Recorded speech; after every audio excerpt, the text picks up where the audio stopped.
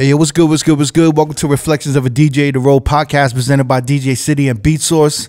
I'm one of your hosts, DJ Crooked. We got DJ Never here. Yo, yo, what up? We got Jamie the Great. Yep. And now we got a special guest. I don't know how this guest got here. Yeah, It's, it's- I don't know. we're we're kind of clueless on why he's here, why he's even here. But you know, he's one of the greatest songwriters, producers, remixes of all time. His label So So Def has produced countless platinum records.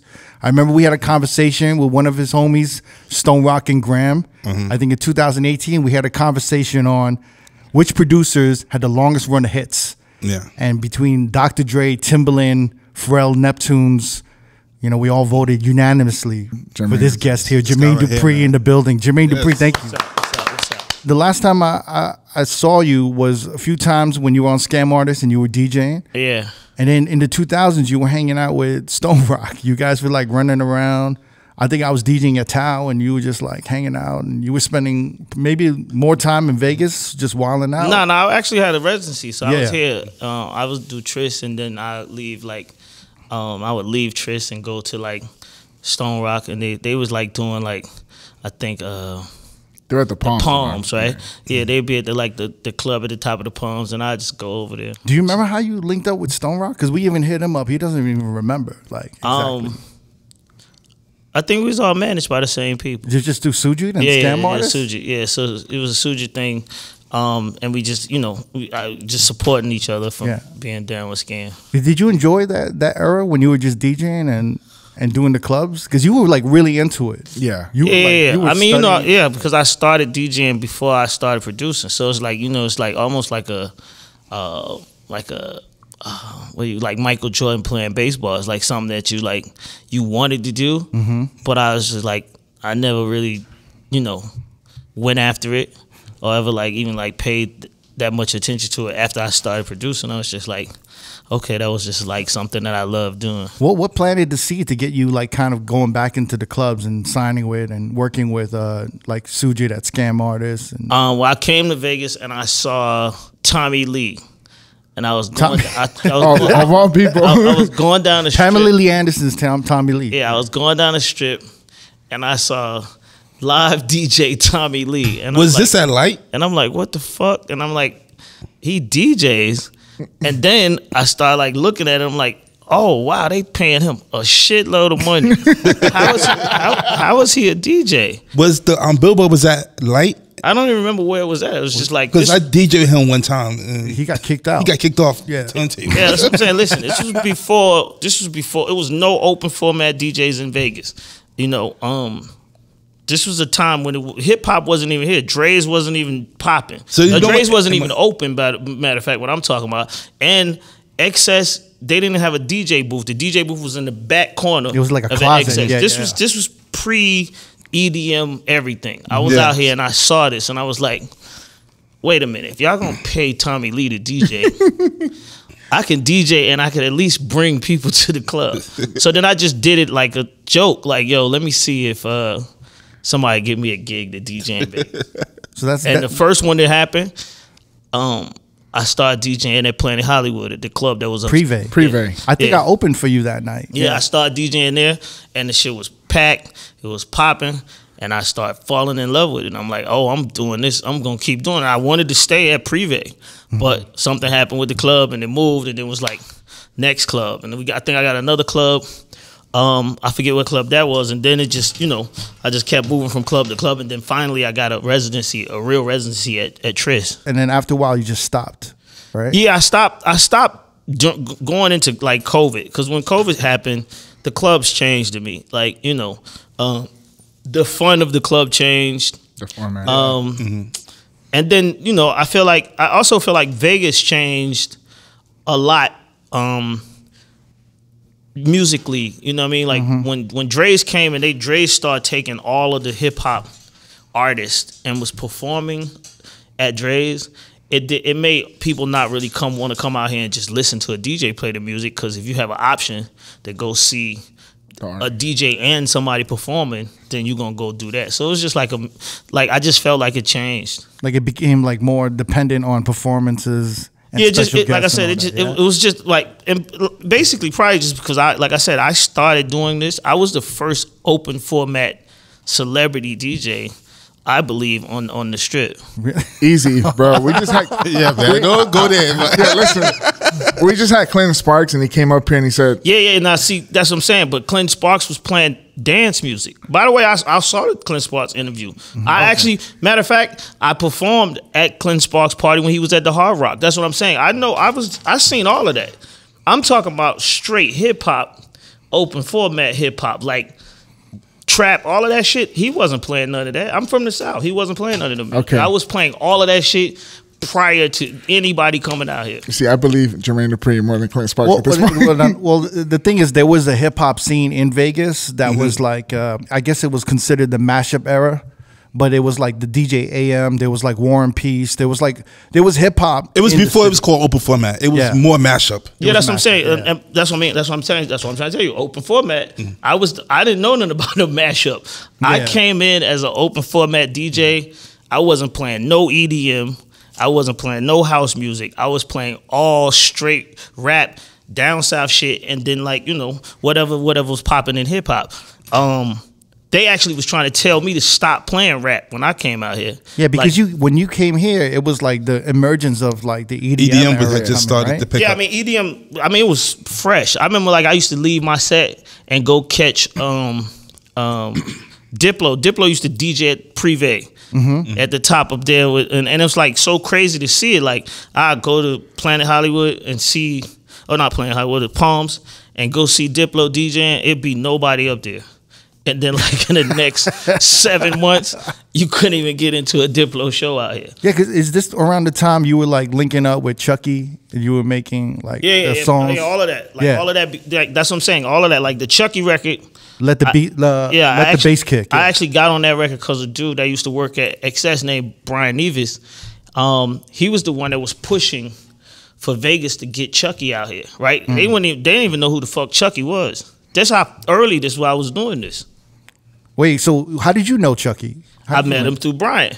Oh, That's what I'm saying. I no, I, I didn't know who Chuckie was either. That's what I'm saying. He was like, "Yo, it's this dirty EDM sound that's Is it- com- cause coming from over. You know, where It- they from? Um, Dutch. That, yeah, that was the that- Dirty right? Dutch. Yeah, That was Dirty that Dutch, right? so he yeah. was telling me all about it, and then he played me the he played me the the, um, the record, and I was like, "Fuck it, I'll get I'll put my voice because they was sampling my vocals already."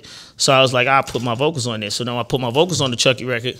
That shit caught on, but it was still like I said, it was so early. Nobody wasn't doing this. Wait, so you just jumped on the record? You just like, yo, fuck it. I'll Yeah, like he, he gave me a beat and I just jumped on it. Like, oh, okay, let me let me see what happens. Because I also saw like I saw it was people coming to my to my shows that weren't completely into hip hop, right? So I mm-hmm. started trying to play like more records that I felt like was not super hardcore EDM, but still was like in the middle of like Kind of like commercial dance yeah, music. yeah, yeah, and like where like um the Black Eyed Peas were at, like you could play like stuff like that, and to get the crowd still going, and then get back into Yeah, hip hop. Yeah. And then you started like you were on the remix for the the class. I'm the ish. Well, I did that like Yeah. I, I was just making remixes just to do it. I mean, at you. some I, point. yeah, we. are I mean, we we really wanted to talk about your remixes yeah, yeah, because I was I, I, feel doing like it just to do it. yeah, because you did so many. I, I feel like you're the remix king. Yeah. at this point. that, Yeah, appreciate no, no, for real. Like, no, Nah, definitely, man. yeah, because we were we were talking about it's almost and it's really hard to find a discography of all your remixes. Yeah, It's not.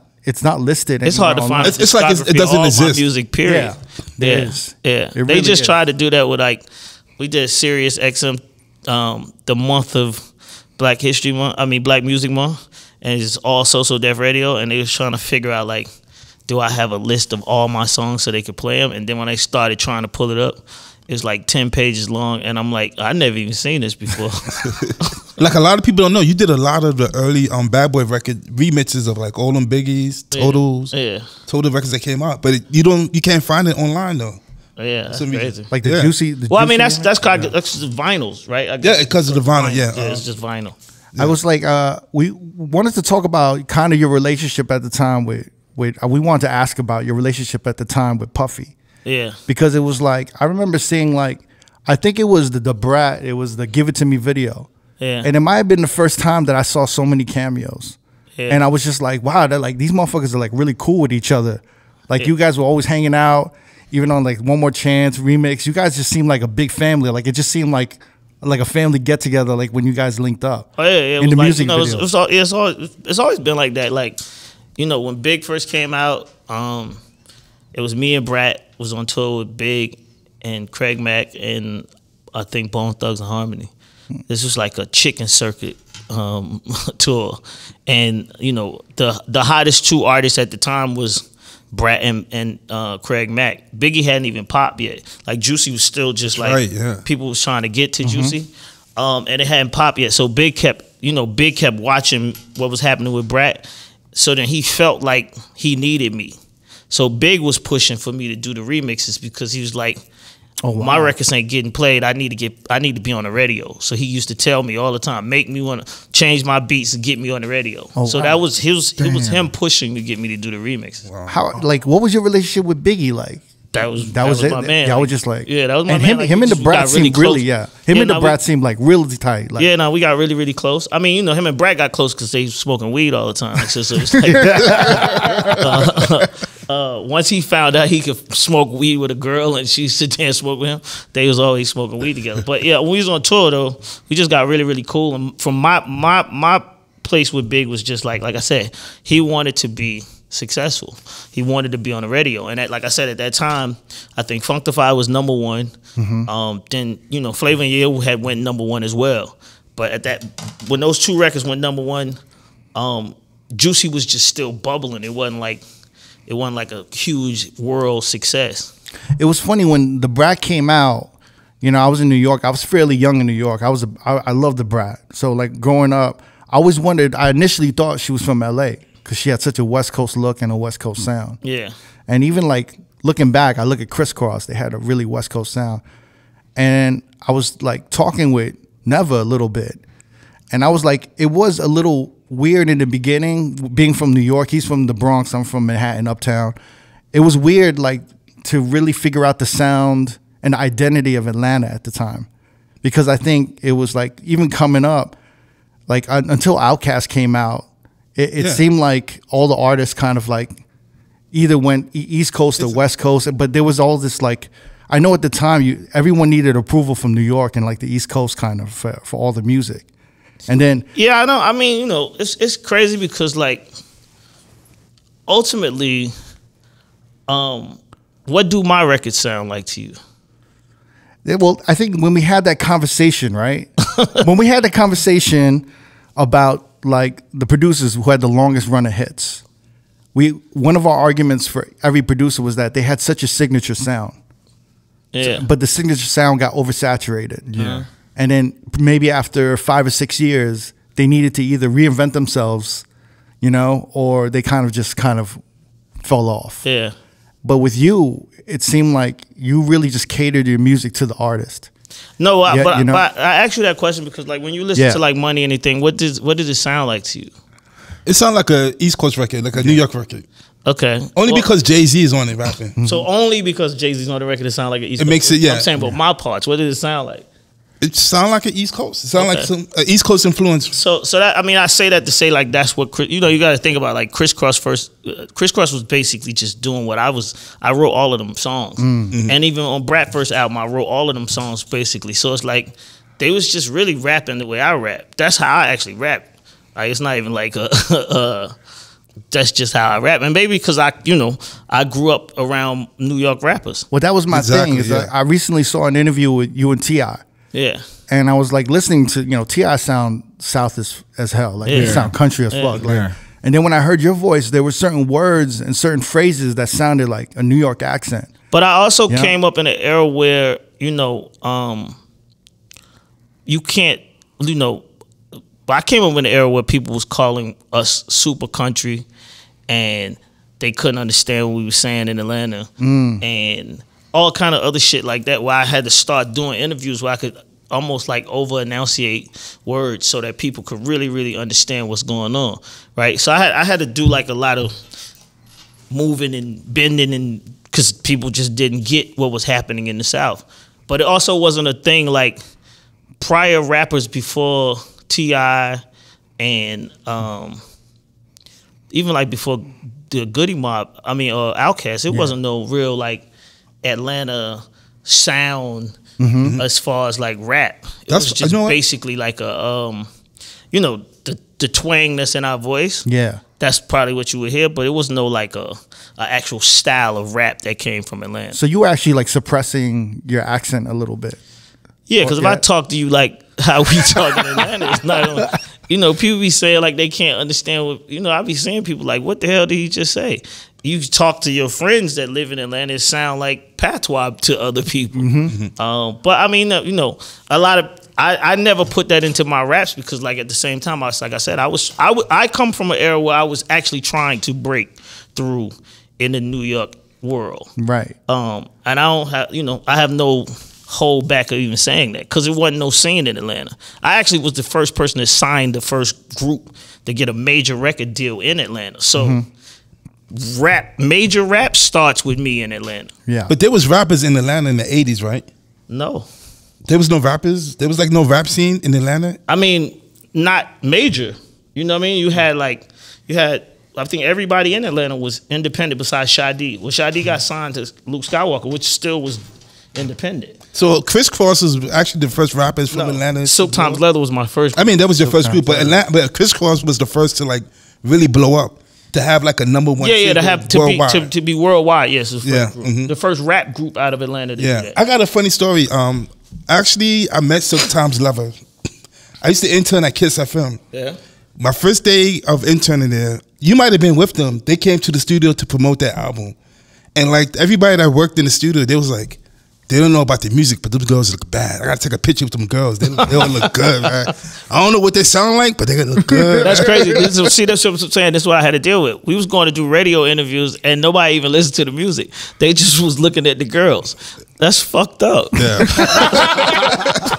Never give it a problem. That's crazy. That's what I had to do. And everybody was taking a picture with them. It was like, yo, let me take a picture with them. Let me take a picture with them. That's crazy. How did you how did you produce their first album? That was your first experience producing.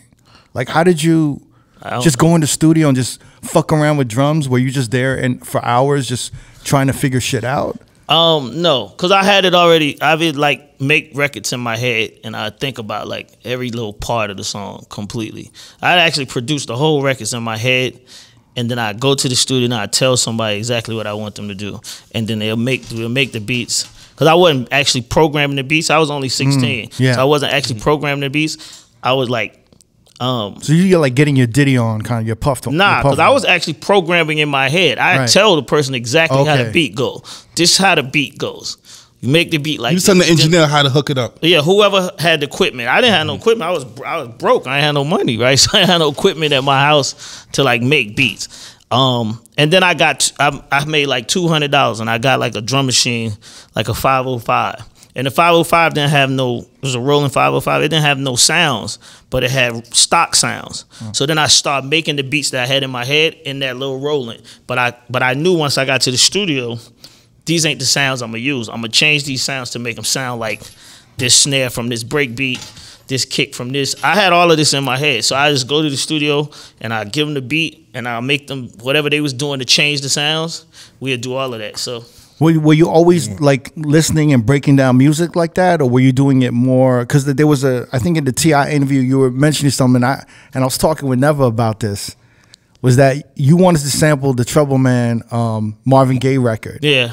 and I think you were using Otis Redding's studio. Well, no. Right? So Otis Redding is the, one of the people who that was like. That's what I'm saying. That um, rest in peace. He just passed Mm-hmm. away not too long ago. But he was the guy that was making the beats for me, right? Or he was he was helping make music for me in this period of time. And if, by the way, if he would have did what I said, Right? It would have been the. You were saying if he would have did what I said, Right. I would have been the first person to ever sample a whole record. You would have never heard nobody do it besides me.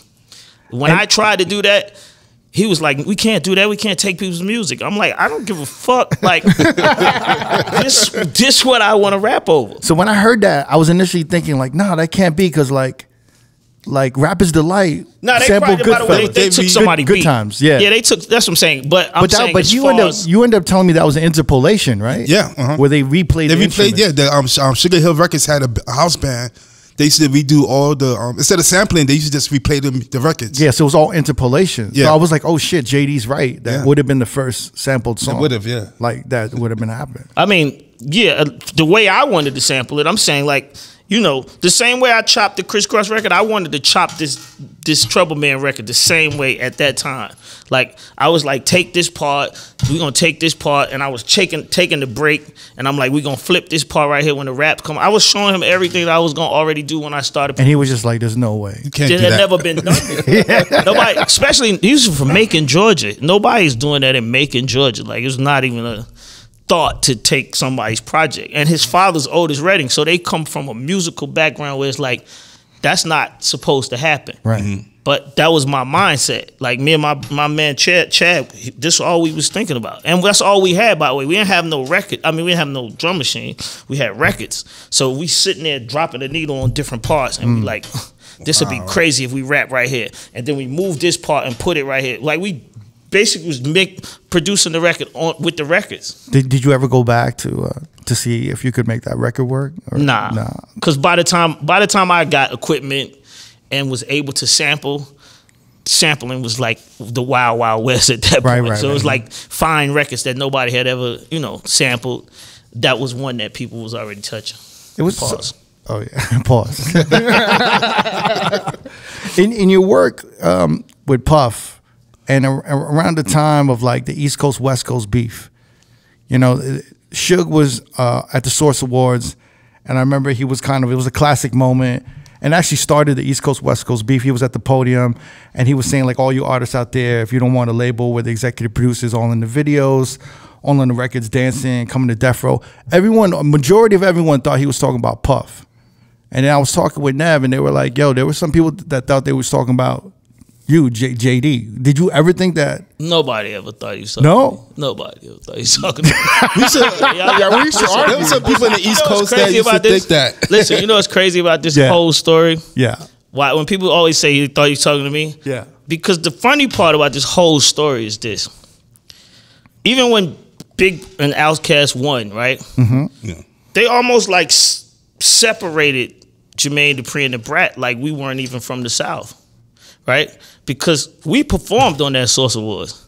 Brat performed. We was in the audience singing soul Funkdafied and all that. Nobody was saying shit to us. It wasn't that they didn't have nobody thought about me and Brat. Even when, like I said, when when when Outkast got that award, the whole audience seemed like they was like mad at them. They didn't boo us. They didn't say nothing about we from the South. I'm from the South, right? and that's what it is. Nobody said nothing to me. They wouldn't think about us. They didn't. They didn't look at us. Nobody was looking at us when they made that up. That was a situation where it was like, So you knew automatically who he was talking about once he said that. yeah, because it was like, you know, it's that's what new, that's what rap was. That's where I come from. It's either like the West Coast or New East or York. West, that's yeah. what it is. It was never no, you know. And like I said before, Atlanta didn't matter. Like you know, when you- like when you even when you say like we was trying to like get approval from these two places, yeah, we had to. Nobody nobody mattered in between New York and L.A. when I came up.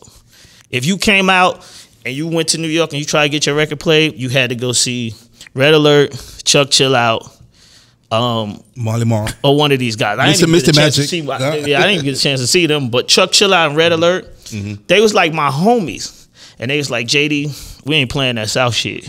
Really? And I'm like, y'all my guys, and they was like, yeah, it's cool, but we not playing that shit. You know what? Because at the time, New, you couldn't play anything outside of New York. You, it had to be all New York. I mean, it had to be good. So they just made me think like it just wasn't good. Mm-hmm. That's all it was. Like, so the Silk Tymes Leather Project, that's what I went through the whole time. Like, I was trying to get them to play the records.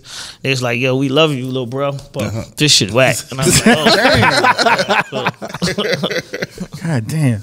Well, I was wondering, did you did you get in like into the whole scene while you was in Brooklyn in New York and you was working with them? yeah, 100%. Because you you and Chad, Chad and Jermaine, you guys had the group. You guys were in Brooklyn, Yeah. which is where I initially thought you got like a New York accent or a little bit of a New York swag. I'm saying I was 12 years old. How, Yeah, yeah. how much older you? You know what I'm saying? I'm, I'm 12, 13 years old. I'm living in Brooklyn. What Yeah, do you think That's I'm gonna crazy, sound man. like? nah, I'm gonna start picking up, and I'm and I'm a hip hop junkie, Mm-hmm. right? So it's it's even worse because I'm picking up anything that happens in hip hop. I'm like Johnny Five, right?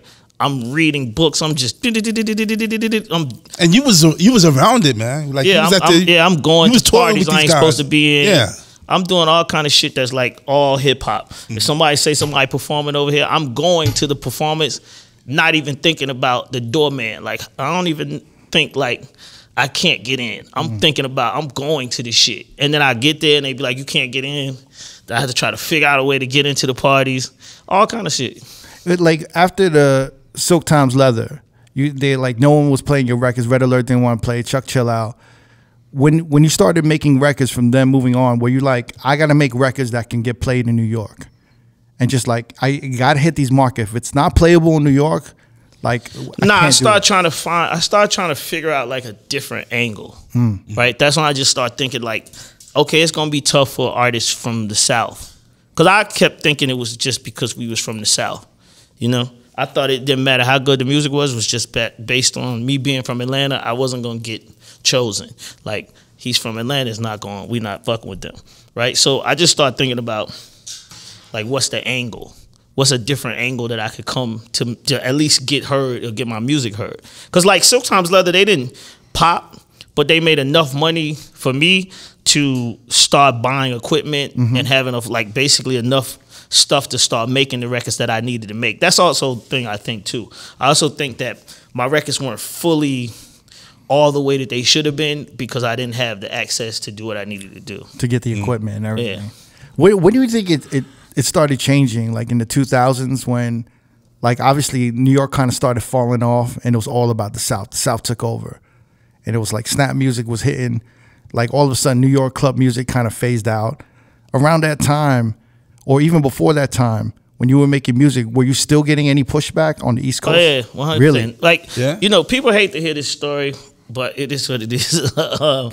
um, my records, Bone Crusher, and the YoungBloodZ Damn Yeah, Yeah. was the turn of New York radio. it, it really was. Listen to these Yes. sound effects. Ooh, It really was You're though. right. You're right. Yeah.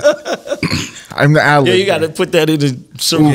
Ooh. uh, nah, so so listen. So um, at this time, I was the president of Arista um, under L.A. Reid, and I signed. I had left Columbia, and I signed Bone Crusher, and I signed the YoungBloodZ, right? And I put these two records out, um, Never Scared and um, Damn. Right.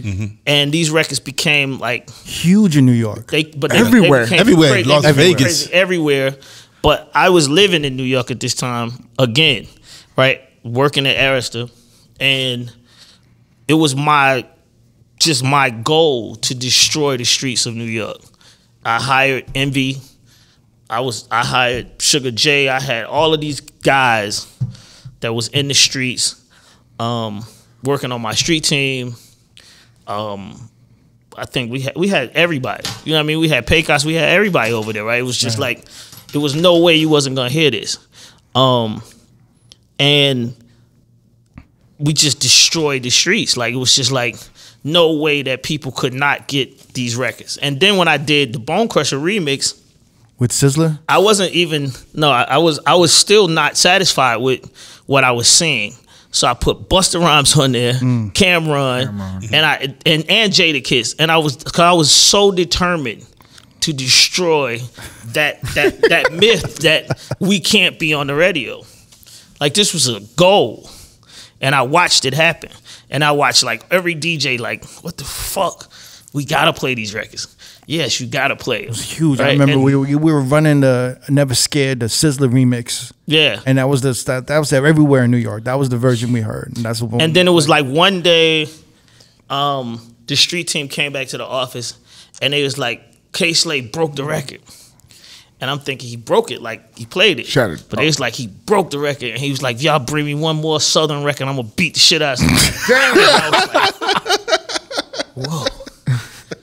Rest in peace, Kay Slay. Yeah, but I was like, yo, at that point, I knew that I had done what I was trying to do, because I he was frustrated because it was like, oh, this is too much. Like every DJ was playing these records, and then I started doing like the Gentleman's Club versus Sue's Rendezvous, and I put all the strippers from Atlanta on the bus and took them to New York and did oh, a shit. strip off at in Sue's. Oh shit. Susan Damn. Rendezvous. Yeah. Wow. That's crazy. Really? Yeah, look at you. Yeah. man. I never really made it to Sue's Rendezvous. So I've heard, I've I've, heard the I've gone there. stories. I've gone there a couple of times back in have? days. Yeah. Yeah. Uh-huh. Well, I'm talking. About I was. I. I. I did all that. I was Wow, doing all that. Uh, uh, Amber Rose was still dancing in the club when I was. God damn. Yeah. One of my favorite remixes of all time that I like, I, I just like, you know, for, for me in New York, I just really looked in the late 90s, I look forward to the So So Def remixes. And, you know, and there was that, your compilation, the So So Def Bass All Stars, mm-hmm. those two volumes, volume one and two. Yeah. I remember, I don't know, I think it was the Freaknik time around around that era. I could be wrong. Yeah. But I always wondered because I was in New York, and there wasn't really a clear distinction on what the ATL sound was. So when I would see Freaknik video, all we saw was like Miami bass. Mm-hmm. And then when these two albums came out, I was just like, oh, this is like maybe the ATL sound, like all this kind of you know two step, double time Miami bass shit that came out at the time during Freaknik. Was that the soundtrack of the Freaknik? I was like, look, I've talked to many like people from Atlanta. Yeah. And he said, if you want to know about the Freaknik, you have to talk to JD. Yeah. Because he's the person who actually made it like what it is and what it's known for right now. I guess I don't know. You don't know? Nah, I mean, well, I'm gonna say, I'm gonna say yes. Listen, the So-So Def Bass All Stars Yeah. definitely was the soundtrack for Freaknik. Hmm. Uh, but Freaknik was going on in Atlanta Yeah, since the early 90s. 80s. right? Yeah. So all I did was like, this is my record company. This is a weekend that's happening. It's almost probably like what y'all do here in Vegas. If some weekend happening and it was a record company in the city, they're gonna try to do as much shit as possible to be seen because this day city and all of these people coming to town. Mm-hmm. So that's what I would do. I would say like. I tell Lil Jon, 'cause Lil Jon was like working at So So Def at this time, right? And I tell all the rest of the street team, listen, we need as much street team promotion as possible. We'll make flyers. We'll make T-shirts. We'll make towels because it's hot. We was making beach balls that said "So So Def Freaknik." Everything, whatever that had something to do with being outside at this time. Water bottles that said "So So Def." We knew everybody wanted water. It was just a thing to just like flood the streets because people was coming to Atlanta. Um, and then we made a, we made a soundtrack to go along with the promotion right? And then we start shooting video. We shot videos. We shot the "What's Up, What's Up" P- Playa Poncho video during Freaknik, like while Freaknik was actually happening. So then after that point, it was just like, you know, yes, I, this is our thing. I mean, can we talk about your role in the Freaknik a little bit more? Because everyone, like everyone I talk to in Atlanta, says you made it what it is, and you made it more widespread.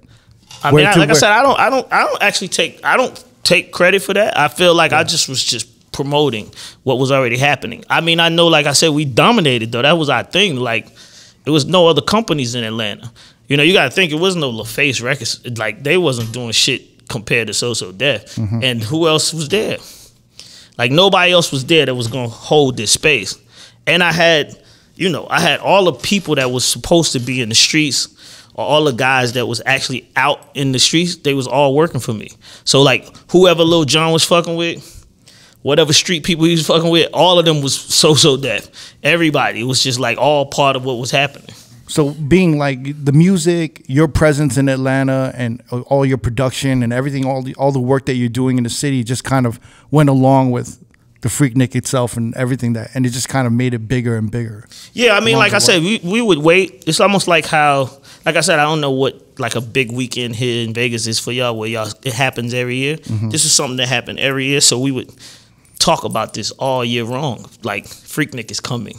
Do we have enough promotion? Do we have the right promotion? What the trucks look like? What the rat? What, you know, we talk about this for months before it happened. Like we was really planning so that when you got to Atlanta.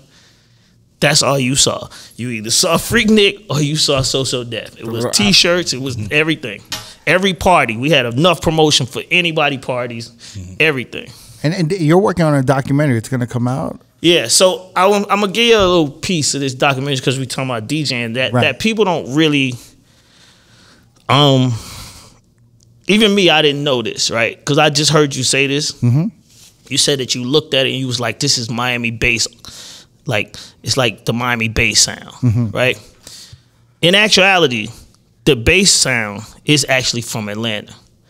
Um, And Luke just told me this in the documentary, and that's the only reason I'm saying this. I didn't know this. I asked Luke what made them make those records the way that they made them. Yeah. And he said that the only reason he made fast records was because Miami is like a melting pot of different nationalities, right? But it's no real sound in Miami that makes you make bass records. So he was the first person to do that. But he said that where he got that from was what was happening in Atlanta. So it was artists in Atlanta that was making records like um, Shy-D, Raheem the Dream, Success and Effect. Um, there's a lot of these artists that was making like even Kilo when Kilo came, it was like they was making bass records, and for for the for till I did this this documentary recently, I thought we was copying Miami, Oh wow. but we weren't. We was doing we was doing. So so fast forward to Luke when he made Scar, right? I was sitting there listening to the record, and I'm like, why would he say Bankhead in that song? He's from Miami. And he put them words in there because he said only Atlanta was playing his music. Oh wow. Damn. That's crazy. Wow. This, oh my god. When is this documentary coming out? when is this documentary coming out? Um, next year. I Next mean, year? I, I hope it's did coming out because I'm hearing there's like a lot of a lot of flack about Nah, ain't no flag.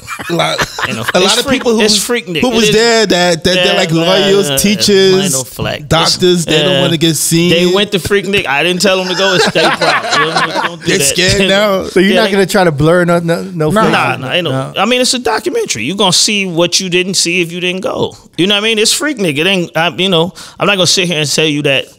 You know, you're not gonna see that because that's it was. It's Freaknik, but Wow. it's from my my lens. I was I was 16, 17, 18 years old. I wasn't 21. So I don't even know what was happening in the clubs. And I don't know, you know, I was on the streets watching what was happening in the streets. A lot of parking lot pimping with me, right? In these parking lots, driving around Atlanta and just seeing and being in the traffic. But it's other people that got stories that tell you, you know, about everything. So, um, you know, it's a lot. It's a lot. It's a lot. This documentary, by by the way, is more educational about hip hop than actually people even understand. Like like what I just told you, that to me is a monumental moment to me Yeah. because I've been wondering why Luke said Bankhead bounce in the Scar record forever. Cause I thought, damn, Atlanta got that popping that he just he had to say something about Atlanta, mm-hmm. and it wasn't it wasn't that. It was mostly like he said, the DJs in Atlanta was the only people that was supporting Luke Skywalker. Damn. I mean, there's gonna be a lot of Miami motherfuckers who, who are gonna just be like, their hearts are gonna be broken, man. But I mean, they, nah. shit, But you know? Miami, they'll tell they tell the same story. Really? it's like Miami. They they say that you know Miami, the the city of Miami, as far as like radio and like um the the commercial side of Miami, they don't actually support their local artists.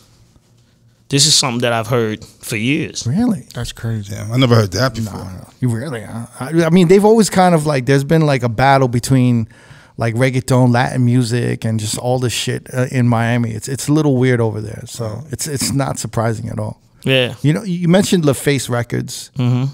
and I didn't really realize what a tight relationship you had with Left Eye. Like she was crashing at your crib.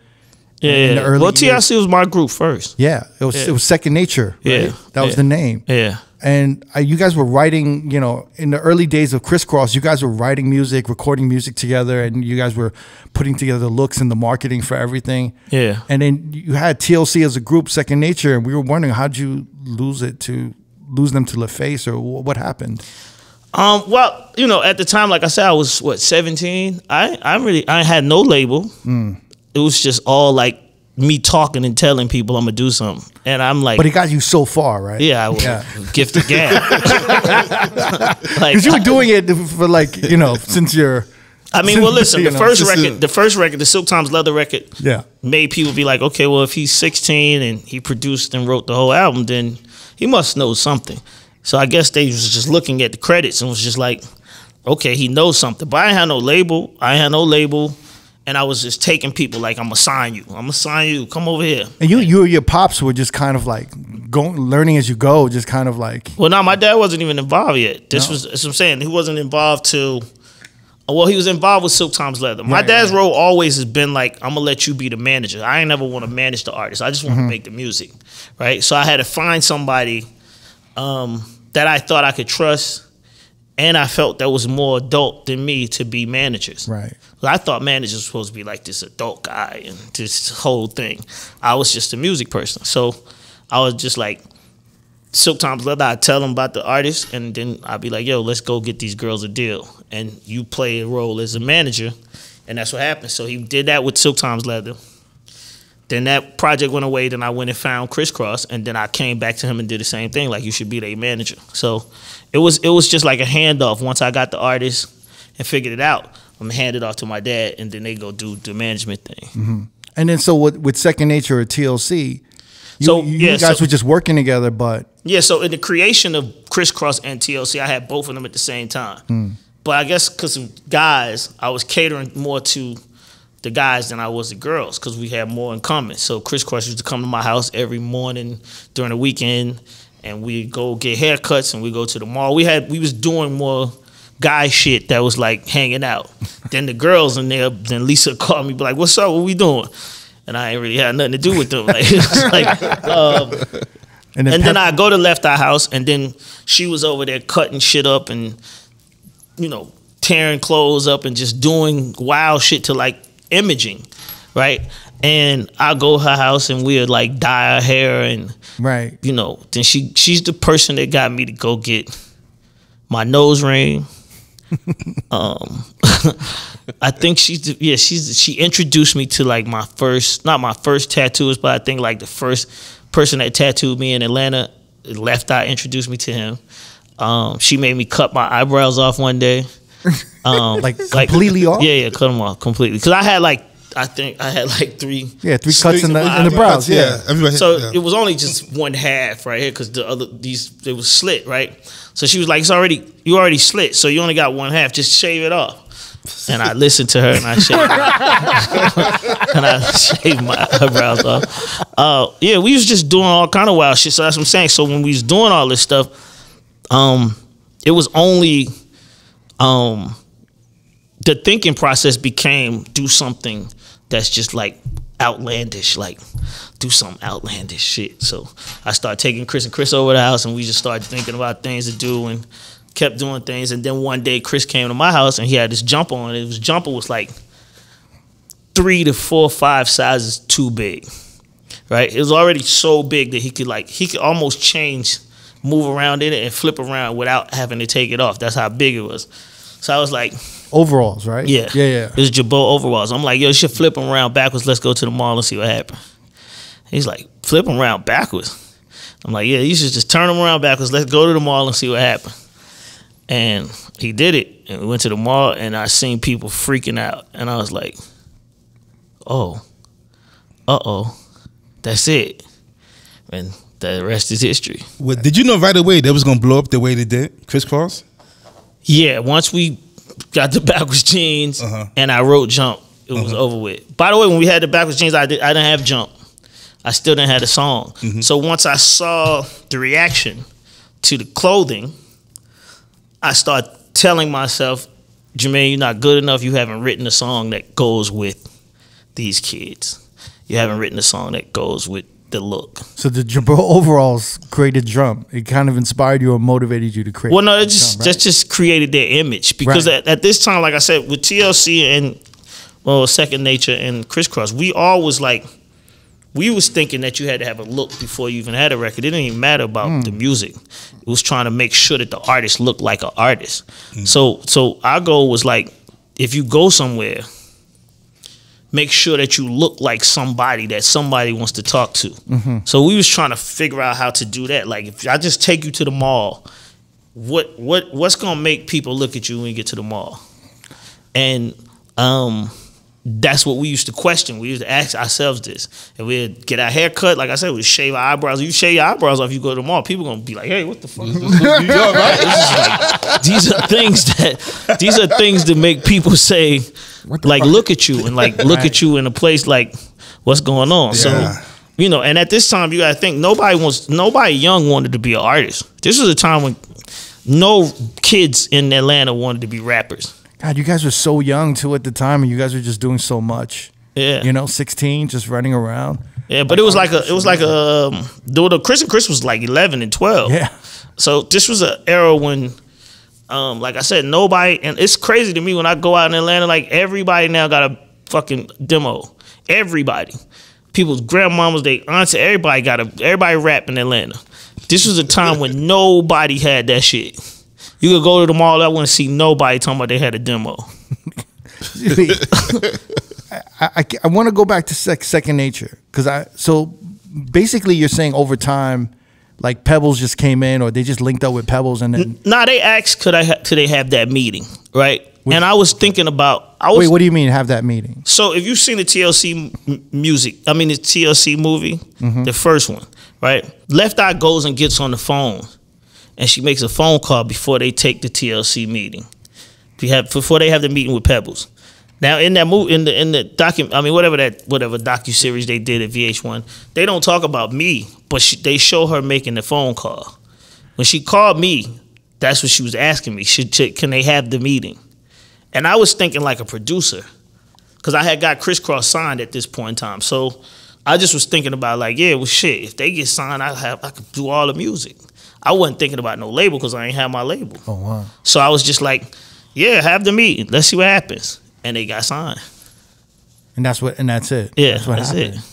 and but but a lot of the majority of their first album was Dallas Austin right Yeah, all of the albums basically. Yeah. Was, I mean, you know, um, besides Crazy Sexy Cool, I mean, I did like with all the intros, and I did Kick Your Game, and I did uh, Switch. Yeah, I did all of the Crazy Sexy Cool intros and all of that when they first come on. That Crazy Sexy. That's me. Yeah, Yeah. but the, the, the, with you thinking that you were gonna produce like oh shit I'm gonna produce like some of the TLC whole shit. album? and yeah, yeah, that that's all I was thinking about. But- like, but- yo, shit, if they get signed to a major label, Yeah. because you got to think we still was Kris Kross still hadn't popped yet, Mm-hmm. right? So this was still like nobody in Atlanta had still touched major money or major label success. So all I was thinking about was like, if TLC gets signed and they get signed to a major label, it'll be another one that I have as an outlet for me to get out here. That's Did all it- I was thinking. So did it kind of fuck with you that like you did almost no you did no production on the first album? nah, because I was in Kris Kross success that you know. Oh, you were just busy with that shit. Yeah, mm-hmm. It wasn't even. I wasn't even paying no attention to that. Do do deals and like I don't know, do deals like that happen all the time where they just kind of like you know, oh, I, I could have signed you know, TLC or even recently yeah, always. with like Latto, like you know, she was on the show The Rap Game. Yeah, but even like like yeah. but see the but see the thing about the Latto situation is that once again is like people don't pay attention. Latto, I put Latto record out. You guys just didn't pay attention to it. Hmm. I put a record out, but she was a young artist. When I put Latto out, she was 16. She wasn't talking about sex, and she was just a kid. Yeah. And nobody give gave a fuck. Right. Mm-hmm. So that's it. You know what I mean? That's that's the end of the. That was it. That was my deal. You win on the rap game. I put your record out. I put a record out. Didn't nobody pay that much attention to it. But that shit just happens all the time then. Well, it's kind of like you kind of work with an artist and then it's just not the right time and then all of a sudden years pass. Maybe, you know, they need the experience, they need, you know. Yeah, yeah. You know, artists need to. They need to. Grow They need into, develop, They need to right? grow into themselves, or the audience has to catch up. You know, Mm-hmm. a lot of times, like like I said, a lot of times I be making records that's so young, making artists that's so young. The fans and the people and DJs, everybody, they just don't be like catching it immediately when it come out. So they get by the time the artist get five years down the road, then people start paying attention to them, right? So like you say like, um, I just posted about Young Dylan, right? I did Young Dylan and Lele, right? Now, right now the video has 10 million views. It just came out last year, right? It's, so I'm I be looking at all the other views all these new artists that come out, and they be in the same rack. They basically the same bracket space. Some of them got eight million, seven, five, mm-hmm. but they older and they talking about killing people and smoking and all that, and everybody think that's the shit. These kids, is, you know, they 12, 13, they not doing that. They got the same amount of views and nobody ain't paying no attention to them, right? It's nobody talking about it. So by the time they get 17, then it's gonna be everybody gonna be, oh, young Dylan, I fuck with him. Like, mm-hmm. what? You know what I'm saying? That's that's that's how I look at it. That's what that's you know what I mean. That's and that's that's just me being able to do what I do. And I started in a space where and and I went through this so much that you not paying attention to it don't even matter to me because I, I understand what it does for me. What, like, this era that we're in right now, is this the hardest era to, like, just market and promote music right No. now? No. No, You don't think so? no. Really? I, I feel like, what? how do you feel about, like, hip hop not having as many, I don't know hit songs as as in prior years than before. Even as club DJs, it's getting harder and harder to DJ. I mean, they don't. People that's doing it don't know what they're doing. That's basically what it is for me. You know, you gotta listen to what listen to this interview. Like whoever's listening to this interview, go back to what I just said about what we used to do with Left Eye and Kris Kross. We used to sit there and make sure that the artists looked like artists before they even had records, right? Name an artist right now that you feel like looks like a star before you heard their song. Hmm. Nobody. I'm not even gonna let you even. I'm not even gonna let y'all sit here and think about it. It's nobody. It's nobody out that you can say, "Oh, this guy looked amazing" before I even heard his music. Nobody. It's not. It. Nobody even thinks about this. Now, I'm, I'm not saying I created the wheel, but I'm saying I feel like that was more. More of that was happening in the era of what you're talking about when hip hop was like. Like Busta Rhymes, Busta Rhymes thought about what his video was gonna look like. Mm-hmm. I'm gonna make, I'm gonna remake Coming to America. I'm gonna do. it. They thought about this shit. It's not like a let's go down to the bodega and shoot a video. Like this, all people is doing right now. let's go to the bodega and shoot the video right now. Yeah, let's go to the park. Yeah, like what? I mean, I, I think you're absolutely right because I think one of the rappers that are like killing it right now from New York, from the Bronx, is Ice Spice, and she mm-hmm. looks like a star. She, I feel like she's one of the the rare like rappers right now where she looks the part and she's acting the part, like she's actually carrying. She's shooting all her videos at the bodega. but I, f- I feel like her look itself in New York, like she's Yeah, but killing you in New can't York. shoot all your videos at the bodega. just can't do that. But in New You York can't- itself, she's killing it right now in New York. I'm just saying, you can't shoot all your videos You're gonna run out of bodega. at the bodega. You gotta you gotta put a little bit more creativity as in you know if she looks like a star to people. I think people she feel stand, like- I think she stands out from a Okay, lot that's of what I'm the saying. So if you yeah. fit, if you have that element, yeah.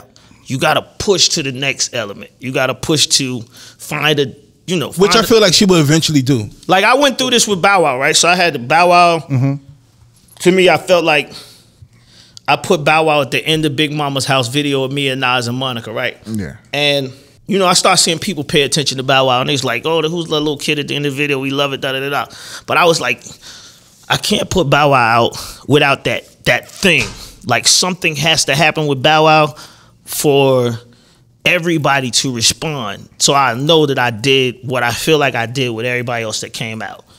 And um the fact that he was with Snoop prior, I kept saying, okay, let me see. Would would it look like I'm stealing if I turn Bow Wow into a dog and he the same way Snoop did? And everybody's like, you're gonna turn him into a dog. And it was like I started realizing that that that element was gonna create this conversation that I was talking about. And just that little piece of thing, Bow Wow, a dog running down the street, and Bow Wow actually coming up and being that dog, changed his whole life. Like just that little creative element made people be like, "Oh, this little motherfucker's crazy." and it was just I, like, rem- I remember that's that it. video. That video is crazy. I'm just, and then by the way, that's just that's nothing. That's what I'm saying. You just had to do something that you can't be just like you can't be just at the bodega, man. You can't do it. You just can't do it. That turns Oh, dog. I mean, the CGI, uh, the cost, maybe the cost for music videos at the time was a lot larger. I feel like she's doing everything independent and grassroots, but I don't know. You think that? I don't know. Oh, I don't know. I. I don't know. Do you have more information? I thought on her that? record say Capitol. Oh, okay. Oh, Well, yeah. like in the beginning, wasn't her? In the beginning, before she, she first came out, she was, It was- she was independent. It was like yeah, but we talking about today, yeah, right now. She just shot a new video At the Right. bodega. the bodega. at the Deli. That's what I'm trying to tell you. I'm Yo, the song. This, I'm saying, Yeah. man. Listen, listen. I- Like I said, you got to go back to like Busta, Missy, and these artists that you see. But, that but people- also, the labels don't have the money that they had back in the day. What? You think so? Look at his They- face. Are you serious? They don't have- Did you you see think how much have money that Hype Williams Universal money? just said they made? No, I didn't. How much? Three billion dollars. Do you remember anybody in the nineties? You don't. You never heard Russell Simmons say Def Jam made three billion. No, not at all. No. Okay, you think they don't have the money? that's from. Come on. That's from. I feel like a majority is that from old catalogs though. No, it's Streaming. not. No, no, they making hand over fist On new music. streaming. Yes. No. Yeah. One hundred percent. I, I I heard that like uh, new music takes up about twenty five to thirty percent of all the new of, of all the streaming. I mean, well, first of all, Revenue. listen, we we don't It's not our job to figure out where they're getting the money from. He said he Mm-hmm. don't think they make. They have the money. It doesn't matter where they get it Well, from. They why- have the money to spend the money if you are artists to do it. But the artists are not being creative to push the labels to do what they're supposed to do. Wait. And everybody wants to be so street. So everybody like, yo, I just want to shoot. You know, let's put a CGI airplane in the middle of the bodega, right in front of the bodega. Like what? Yo, Jay, why you, what you got against the bodega, No, man? I'm just saying, I'm- because I'm saying, I'm saying, They got no. bo- they got no bodegas in ATL. nah, Like, we, up? we got like gas stations. You can shoot in front of the gas station. Uh, We see nah, some of those. Yeah, no, I, I, I'm just saying. I just use that as like a, you know, Yeah. That's because I see that more than anything.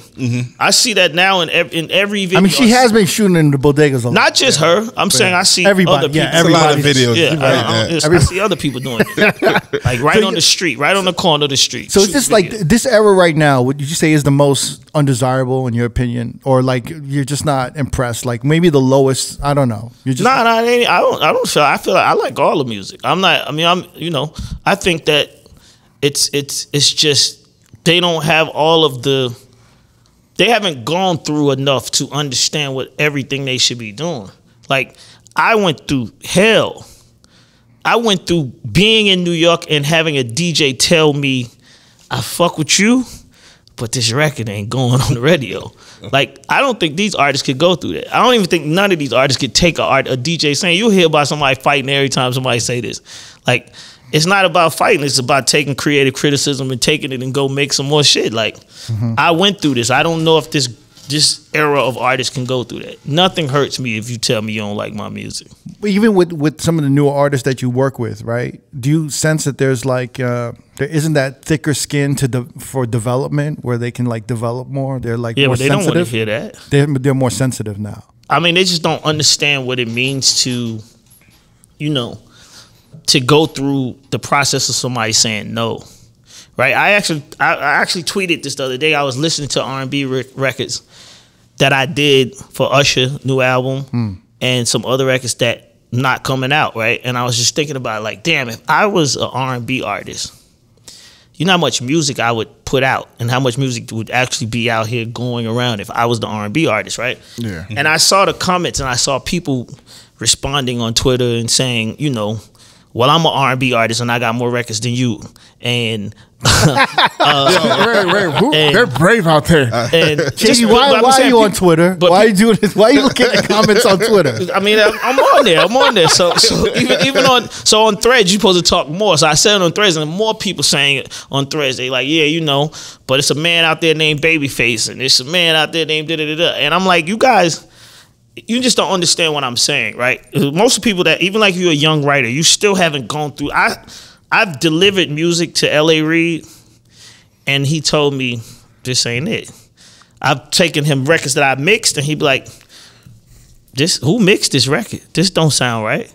Right? I don't think this generation could go through that. I don't think they have the skin to even go through somebody telling you this and then you actually just walking out the office and going back and trying to make it better and so that you can come back to that office and have that meeting again. So when he when he ever tell you this stuff, these things, would you agree with him, No. or would you fight him? and Be like, Nah, No, you're wrong. you- I'm young. You know, you know, you know, young people don't agree with nothing.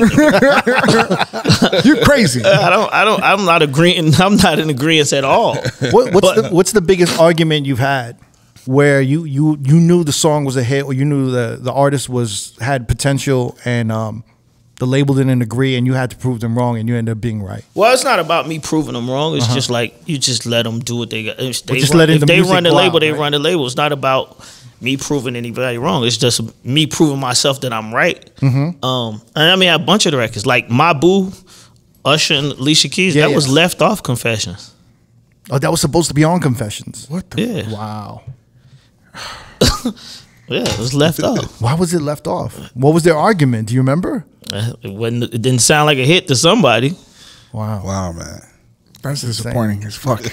but it sounded like a hit to me, right? So I'm like, you know, if, like I said, and and, and respectfully, I, I respect what people do. I respect your job. If you got a job, or you own the label, this is your choice to make. I'm just a worker.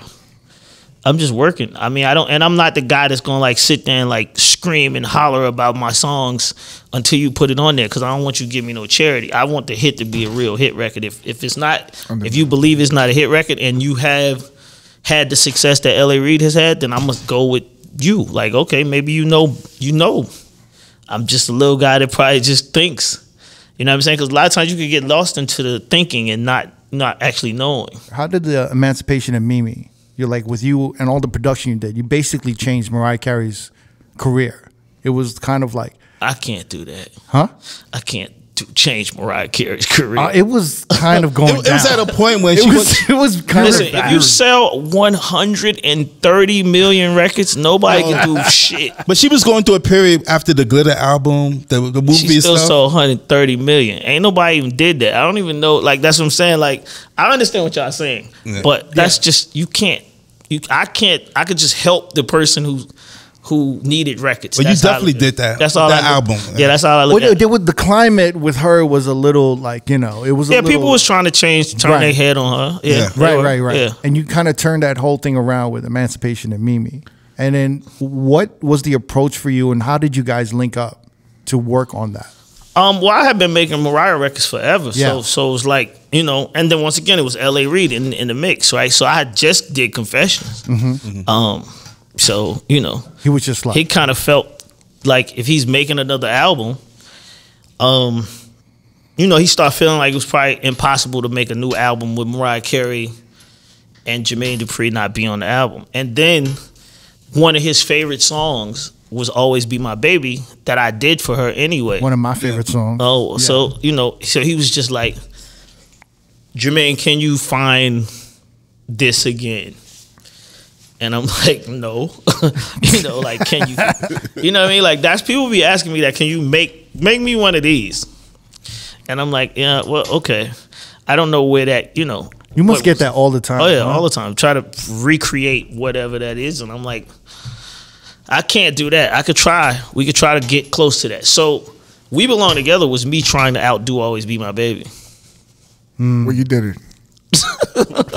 I got flack here because I said that was a song of the decade because you had said that, and I'm like, who who said this? That's the song of the decade.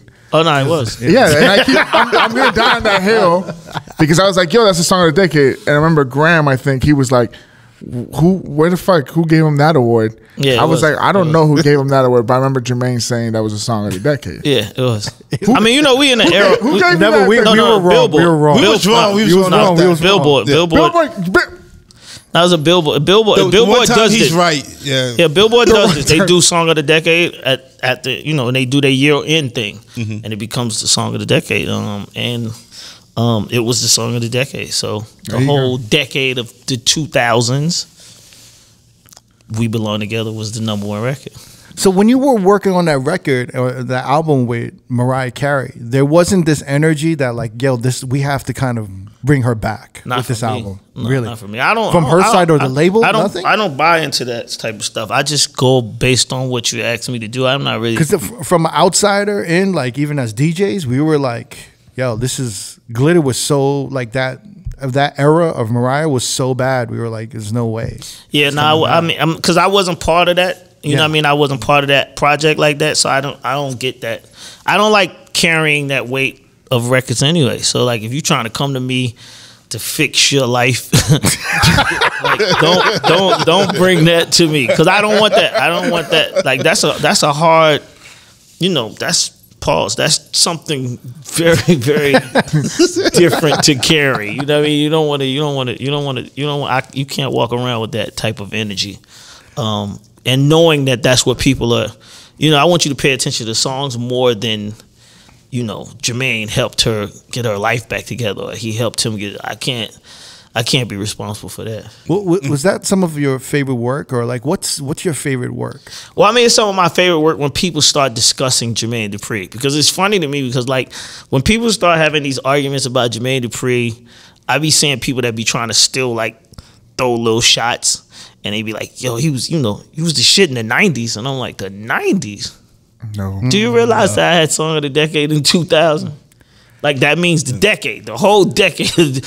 I don't think people even be it's, it's, understand. it's crazy because a lot of the work you did in the 2000s, R&B, a lot of the R&B and like records that you made in the 2000s are like the soundtrack to every R&B day party and like nightclub right now. Yeah. Like, Yeah, it- no, and, it's and I- literally by the way, like, and you that's know? that's uh, not to cut you off. That's why I came here because I want. I feel like you guys as a DJ podcast should be more famous than what you actually are. Oh, thanks, right? Jermaine. Because be- because I'm saying you guys are talking about shit that actually really matters to making music turn into what it actually does, and that's why I don't I feel like people.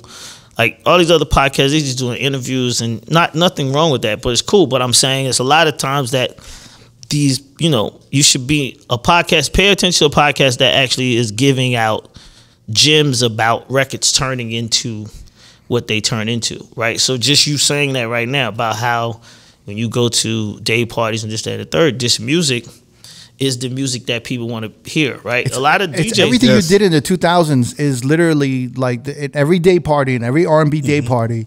It's like It rings on. It's all these JD songs. So anywhere from Jagged Edge, uh, Let's Get Married remix to Bow Wow, Let Me Hold You Down to the Ciara record to Mariah Carey to Usher. Where the party at? where the party at. It- it's literally the soundtrack, and it's I would say it almost embodies the whole 2000 sound of R and B for these day parties and R and B parties for the youth right now.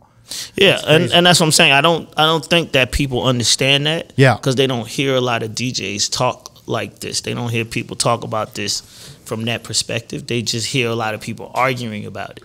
Right. And that's where it starts the Puff JD conversation and all that stuff. That's when it starts happening because they don't hear enough. Wait, what's the Puff D? What's the Puff JD conversation you? I mean, you know, the versus thing that people keep Right. trying to you know, when they start talking about this. How do you feel about that?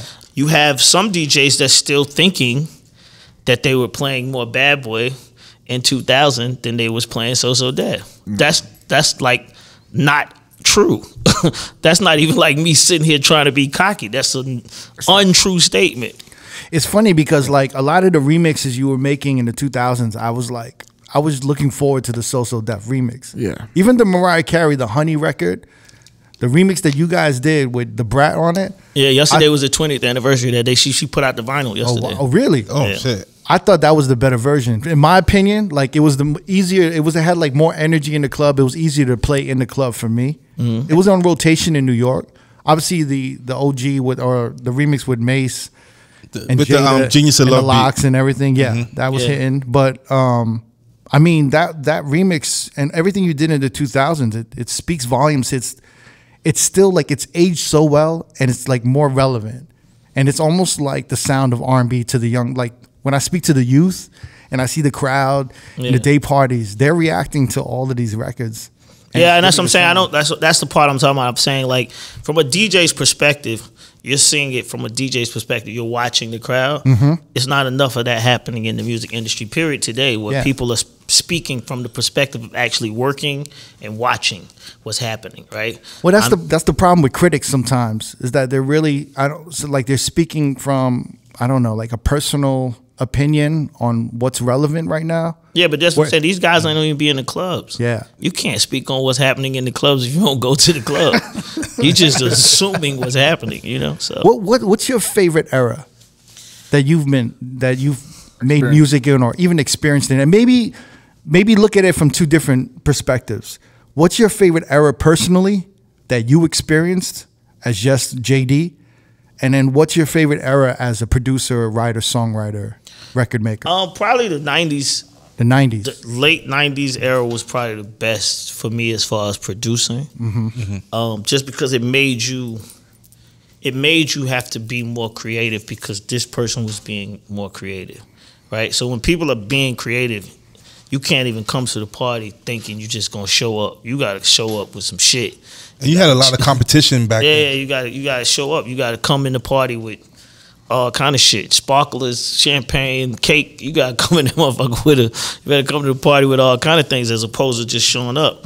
Um, and that that era to me, as far as being creative and writing and all of that, you had to try to like figure it out. Um, that was that was probably the most fun for me. What would be your favorite record or what was the record to you that you remember the most or that was maybe the most impactful for you Um, Money Ain't a Thang like like Mm. you know um because I knew who Jay Z was. I knew exactly where he was probably going to end up to. Not today, but at a, at a point in time, I knew that Jay Z was going to be the person that he became to hip hop. Right? I just had that feeling because I listened to his music and I was listening to him, and I'm like, once people start fucking with this guy the way that they supposed to, it's kind of it's gonna be a landslide. He's gonna be like the guy. Um, and when I, you know, when I chose to make that song, Columbia was like, "Why Jay Z? Who is this guy? Why you why you want this to be your single?" And I'm just like, y'all just don't, you just don't understand, right? And it was like, um, that record was just for me. Um, I was listening to Clue tapes. It was all like, like you said, New York. I was listening to, and I was still going back to my mindset of like Red alerting them. They shitted on me. This point, they shitted. That really, that really, that ready. really like shaped. Yeah, your- a, it definitely impacted me as a it- it kid shaped- being into hip hop because Yeah. you wanted, you know, you wanted to be in the mix. You know, what I mean, you got to think. I came from a tour where I was surrounded around all of these people, and all you want to do is be. You want to stay at that party. You don't want to go to nobody else's party. You want to Mm-hmm. go to that party. And you want to figure out how you can continue to keep going to that party, right? Right. So that was yeah, that was one of my goals is just try to figure out how to continue to keep going to that party. So when Clue started popping, um, it started being like a thing to be like the first song on the Clue mixtape, right? Mm-hmm. But I even took it even further because I'm like, I'm gonna be the first person from Atlanta to have the first song on Clue mixtape. Nobody wasn't even thinking about this. Nobody in Atlanta wasn't thinking about this. I just was saying this in my head. I'm gonna be the first person from Atlanta to be the first song you hear on the Clue mixtape. And when I made One Anything, that's what happened. I, so I was, I was cool at that point. I had to go gold or nothing. When Clue called me, he was like, "Yo, I'm putting this song first. I was like, "Yes." Wow. Yeah. It was that stamp of approval from the from. No, it just like, was hip hop. It was Was just hip-hop. hip hop. It's a hip hop thing. You know, for me, it was like hip hop because you gotta understand, hip hop in Atlanta was not nothing. Mm-hmm. We had a hip hop station. We don't have no hip hop station, and they played hip hop in Atlanta on V103 for an hour on Friday nights. So you had to wait till Friday to hear all rap on for Really? one hour. in the nineties, or Fuck yeah. really? Yeah, I didn't do this. I didn't realize it was that. Uh, I don't What? know. Like for so long. Yeah, for a long time. Like Maybe you 'cause know, we're so and then it- spoiled Then it, in New then it started changing. It started switching a little bit, but I'm saying prior, like Kris Kross. You know, what I mean, you got to think like this. Where where I came from, this what was happening. It was you know, and and. Like that's why I say in, in Money Ain't a Thang, I mean, oh, and Welcome to Atlanta, I say Shy-D. If you was riding, you was bumping the homie Shy-D. He was the only person you heard in Atlanta, ever. That was that was another record yeah. that That was, was a record. so big, that was huge in New York. but the remix was so huge in New York. That was Once like- again, that was another thing. Again, like I was sitting there, like, yo, okay, I made a record called "Welcome to Atlanta." Nobody in L.A. and New York is gonna play this song. We, I mean, were I, I really shit. liked the record, but we was not. It was just hard to rock it in the club. See, You know, no, I, no, I, I was actually playing "Welcome to Atlanta." Yeah. I thought that was dope. But It when was the, a good- it was But a when the record. remix came out, it was just like, all right, was a this monster. Is taking it to another level. It was a yeah. So that was the thing. So it's like, okay, y'all keep saying me and Puff is battling each other. Put Puff on the song, and then I'm gonna let Puff do New York. That way, you know, the record get It's played a in New New York York. play, yeah. And then once I did that, it was like, let's just make it everywhere. So then everybody could play their own little part. Put Snoop on it. LA could play it. Blah blah blah. It was just determination of like breaking into all of these places. Did you strategize where you put each city? Because in LA, we would play the whole record because LA was the last one. Yeah. So did you strategize? Put Nah, nah, New nah, York nah, in the nah, middle, and then nah. LA. I just, I, you know, really, the Midwest supposed to have been in the middle. I mean, it is because it's Murphy, but. Um, Nelly, my man, I tried. Nelly's supposed to have been on that part, but Nelly was like, "Yo, let's break Murph on the record." And I don't never really had no problem breaking artists. And then, you know, Nelly, my man, so I just like let's put Murphy Lee on there to represent the Midwest. So it was supposed to be me, Puff Daddy, Nelly, and Snoop Dogg. Did, did you ever get an ch- opportunity, or was there ever an opportunity for you to work with Tupac? No, No, cause I, you know, Tupac was prior. Um, because you was telling me that Tupac was in Atlanta a lot. yeah, he was because he was dating. Yeah, I uh, mean, I know Tupac. I mean, me, we, I knew Tupac well, but we. I wasn't. Um, when I was on tour, I wasn't making records, and Tupac was out. You know, what I mean, he was in Digital Underground. I wasn't making music back then. Yeah, because I was wondering, I'm like, why did that never? Because he was dating Left Eye, I think, at a point, and they were yeah, yeah, but but it was still like you know, um, it just was a different. It was a different, like I said, and I the only thing that was successful about Jermaine Dupri at that time was Kris Kross, and this one hip hop didn't want young people to be a part of hip hop. Mm. You know what I mean? Like being young and being in hip hop was like no, Yeah. right? So so you know, I used to get criticized for working with younger artists, right? Everybody used to talk shit about me saying Jermaine, all he do is make kid stars and da da da da da. People don't even remember that now. Like everybody young now, so everybody Yeah. like, oh JD, you don't know what you're talking about, nigga. I'm the reason why you have you can rap. what is you talking about? Like you know, but anyway. Uh, But not for nothing, Kris Kross like Jump used to get played in the cl- New York clubs back in the days when it came out. Yeah. Like New York loved that fucking song, man. Yeah, I mean, but Kris Kross, we did a lot of work. You know, Kris Kross was like the only group, eleven and twelve, that actually performed the SOBs. It was on a bill. yeah. It was on a bill with Cypress Hill and Daz I think- yeah, Effects. mhm. It was like um, It was Crisscross, Das EFX, and Cypress Hill. damn. yeah, one of my favorite records was on was the second album, the single with Super Cat. I thought that was one Yeah, of one of their best singles. In my like, All Right. I thought it was dope. All right. And by the way, like you, if you look at like these songs, right? The thing about it was like the stuff that I was doing was trying to create for Atlanta, right? I was like, we gonna make, we gonna be like the first group from Atlanta to do a record with a dance hall artist. Nobody actually credits Kris Kross for doing that, but they were. They was like, you know, what I mean, we was doing stuff that nobody in Atlanta was even thinking about doing. I don't even know if anybody from Atlanta has a record with a dance hall artist to this day. Not like that. Yeah, it, it was it was cra- it was crazy because it was such a West Coast sounding record, and then you had like this dance hall on it, and it made it somehow like East Coast, and it was just like it was just like such a unique blend at the time. I think. Yeah, see, I just I, I think the samples, you know, what I mean, because like the touch of love, I don't have anything to do with making it sound. You know, I think these are records that just resonate with different areas. Yeah. Because I, I never thought that that sounded West Coast. That must be like a song that. Maybe it was like the, Probably. co- maybe it was like the chords. like That's what I'm saying. That's all samples. Yeah. It's all samples. So it's not me. It's just a sample. So you know what I mean. If it if it, that's what I'm saying. If it caters towards a a, a um uh, a area, then that area must have listened to that music more than the different other samples. was there ever a time where you were struggling um, to like make music and like kind of I don't know, just kind of like I don't know, were you fighting to stay relevant or No. you know, never? when you when you start as young as I start, is you are the word revel, relevant. It's nobody more relevant than me because I'm young. I, you know, what I mean, I started. Be, I start the process way before anybody else, so I never even understand what that means. If somebody says that to me, I'm like, you can't be talking about me. You got to be talking about somebody else that's like ten years older than me because I everything I have ever done has been younger than anybody else that's ever came out in this industry. Well, like I, I, I asked this because I was wondering, like around the 2010s, there was like kind of maybe I don't know, there was a maybe a, a couple years or a few years where you weren't really putting out or making music, or maybe you were making music and it wasn't getting put out, or maybe I don't it know. wasn't listed on discography. 2010.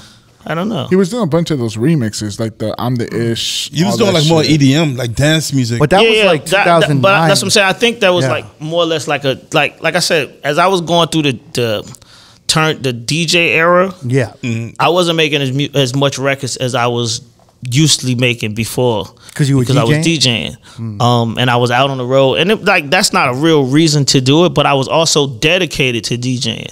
I was just telling Lathan this when we was just coming through here, coming here, like the, you know, I used to be in Miami every week. I used to be in Vegas every week. Mm-hmm. I was going wherever they was asking me to DJ. Right. Like I was actually being like doing this DJ thing. Um, and I actually was, I was having fun doing it too. I wasn't even really tripping on like I mean, you were one of the few, one of the few like like celebrity like DJs that were trying to like improve and like really. and I wasn't even, I didn't like that word, celebrity, Celebrity? DJ. I don't oh, Yeah. like that word. I'm, I'm a DJ. Write that off. Yeah, I don't like that celebrity DJ shit because that means like oh, he can't really DJ. Like he's just a No, but celebrity you- that I everybody mean- knows. I don't like that. I don't like that. I don't play. I mean, that. like D-Nice is kind of a, a celebrity DJ too at a certain. Nah, you he been a DJ. Yeah, but he, but it's But like you know, he's just this- a DJ that this became popular. Yeah, People know who he is. yeah, he's just a DJ Before that he was a became popular. DJ, I mean, Yeah.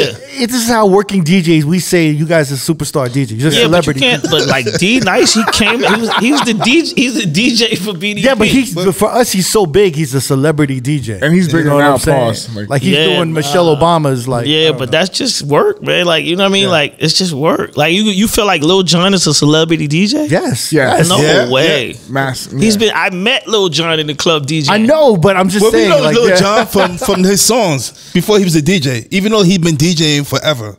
But No, we- the, th- the thing is, we still look at him as a DJ. I just think when you're widely, like widely known, and people know you from like you know, I don't know, the, what was that? The the Trump TV show and all this. the, the David the Chappelle the sketch. Chappelle sh- sketch. He's a celebrity, so you're a yeah, I celebrity mean, DJ. yeah, you know? he, he, yeah. I mean, I guess, but I that's what I'm saying. it- I just yeah. think it just becomes like you know, it, it, it feels like a crutch to me when they st- when not, not you guys, but when I hear other people saying it, like that's what I'm saying. When I saw Tommy Lee name. I'm like, this is celebrity DJ, Oh, right? Because I'm like, how the fuck is the guy that Tommy Lee, the trench coat dude, right, right, right. DJ. And I was like, I want to go to the club and hear this, right? So I actually, You went? yeah, I went to a the very club. DJ thing of him to do. I went to the club to see what the fuck he was DJing. And that's when I realized, oh, he is stealing money. Yeah, Right? And I'm like, oh man, this can't be. I gotta do this. Right? It's no way possible I don't try to do this because I'm saying they're allowing this to happen. But it was a club that was right beside the sugar. It was like a sugar factory or something that had just opened. oh, It was a club that was like right there where they used to give you the drinks. They used it was to in smoke. Caesar's Caesar's Palace. I don't. Yeah, I don't know. Um, but it was a club Pure? that was like it was like a club, and he was DJing, and they had like a was it the Sugar Factory or one of these it had to be pure. It had to candy be pure. candy spots or whatever it was where Mm-hmm. you eat, and that and that was by the way that was part of it. Once you Was get it, um, get the job. the Paris Hotel was it Chateau? Maybe. I, How long ago was this? Well, you let us It know. was the You're the two- it was the- talking. It was, Had- but I remember him DJing that light. This was like in 2005, and he got booed off. well, he But got pulled. He got pulled off. Yeah, Yeah. But he was DJing after that at other venues. I forgot where. But I don't know where. So that's what I'm saying. This I don't, I don't know what year this was, but this was you know a long time ago. And I actually went to I went to I wanted to hear what he was playing because I actually wanted to be like, damn, I went to see Tommy Lee and he was playing that shit. But you know that that's not what I, that's not what happened. But I you know I didn't know what to expect, but I went.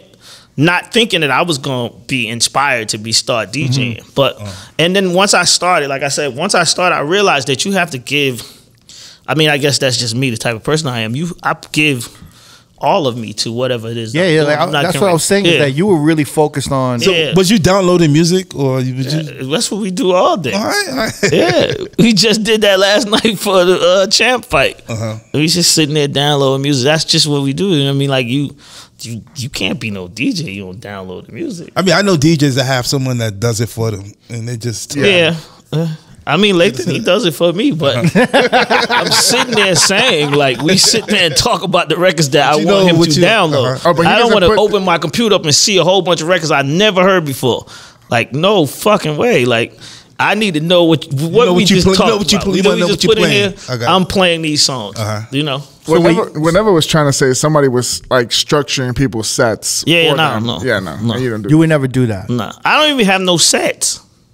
We just talked about this yesterday. Like we be having conversations about this. Like people be doing these same sets. We be going to hear people DJ. Mm-hmm. They got these same fucking Yeah. sets and routines.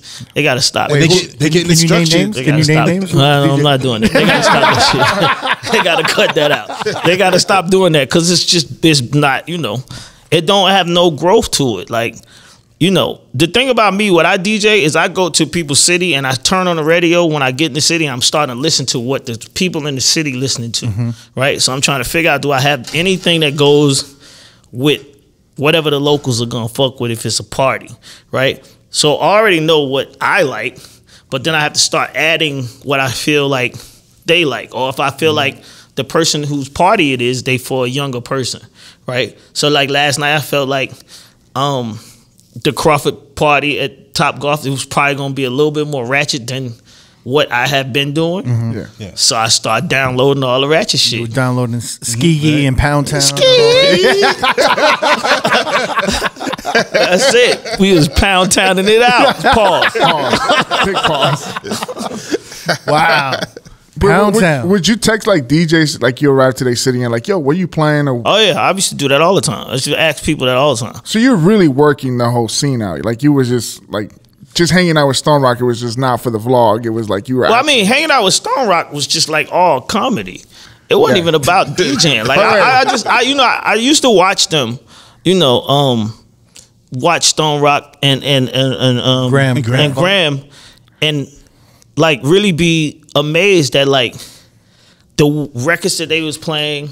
How they would play. Stone Rock don't give a fuck about the crowd. By Yeah. the way, he goes off into his own like yeah. I'm Yep. playing whatever the fuck I want to play right now.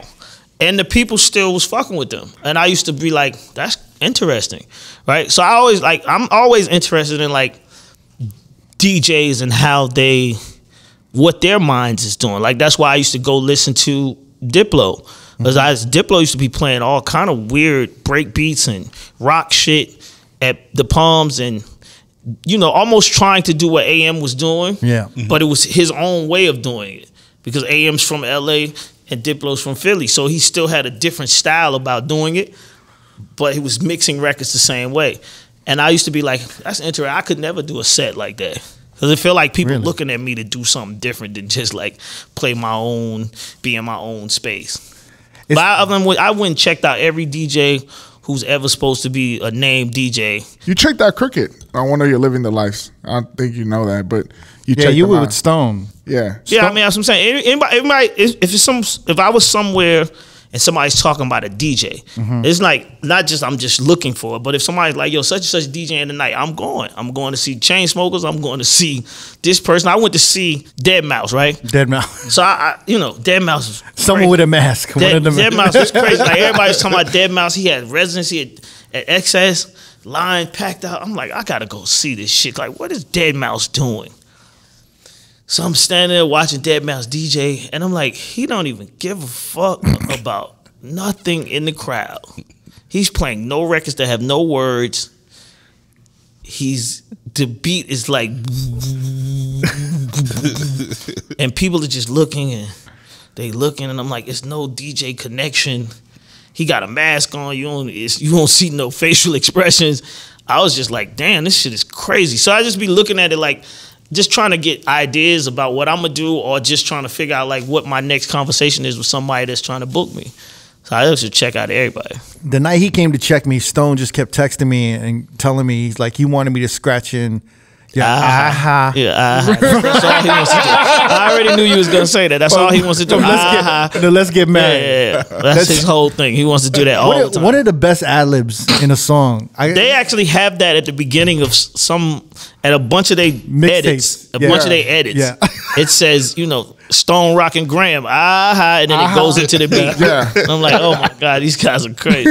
we, we I just had we just had a discussion about you. Uh, uh, we were talking about the best ad libs in in the game in the business Oh, that was with Clint Sparks. with Clint Sparks, Yeah. and we were saying like where it kind of stemmed from. I was saying, you know, initially I thought Pete Rock was yeah, one of the I, first. I, I saw that part. I think Yeah. you probably. I mean, like I said, I I I only said that about Puff because I'm saying like what people keep trying to compete with me and Puff. Mm-hmm. I wasn't. t- I don't know. You know, everybody. I, I'm sure. Like Teddy Riley was talking on records before. I Right. Making them, Yep, yep. yeah. So it's not. I don't. I don't have nothing to do with that. I'm talking about as far as doing it in the era that I feel like I'm part of. Mm-hmm. Right. In my era, you know, I was doing. Who else had a record out when Jump was out? Puff didn't. No. I'm just saying, like this is these is these is Facts. facts. It's not me. I'm not trying to be. I'm saying you can look at the chart. Tell me who else uh, from anybody from Atlanta, anybody else that's y'all that people claim is my competition or my peers. Mm-hmm. Who had a record out that was going head up with Jump? who do you feel when is Criss your- Cross was Who do you feel was your biggest competition?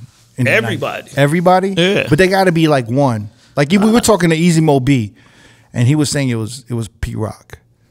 Everybody. Everybody. Yeah, and my goal is to outdo everybody. I'm not thinking about like one mm-hmm. person. I'm trying to outdo everybody because I'm looking at like, like even like right now, we have these conversations about. Well, I don't have these. so I be hearing people have these conversations about Jermaine Dupri writing and this, that, and the third, and people don't understand. Like like even when I said I, if I was a R&B artist, I'd be, you know, probably one of I have more songs than anybody, right? I think people thought I was saying that from a cocky perspective. And I'm just and then when I see people say, "Well, it's a guy named Babyface out here, right?" And I'm like, "Okay, what rap song did Babyface write?" Nothing, nothing. Had had to be a, no. He never did. He never He never with did. rap. Yeah, never never did. did rap. R and B. I was gonna say the closest thing would have been the TLC record. Yeah, I was gonna say TLC. I would say Bobby Brown, but yeah. He didn't write. to- He didn't write nothing. Listen, you guys are trying to make up shit. I asked you a question. I said no.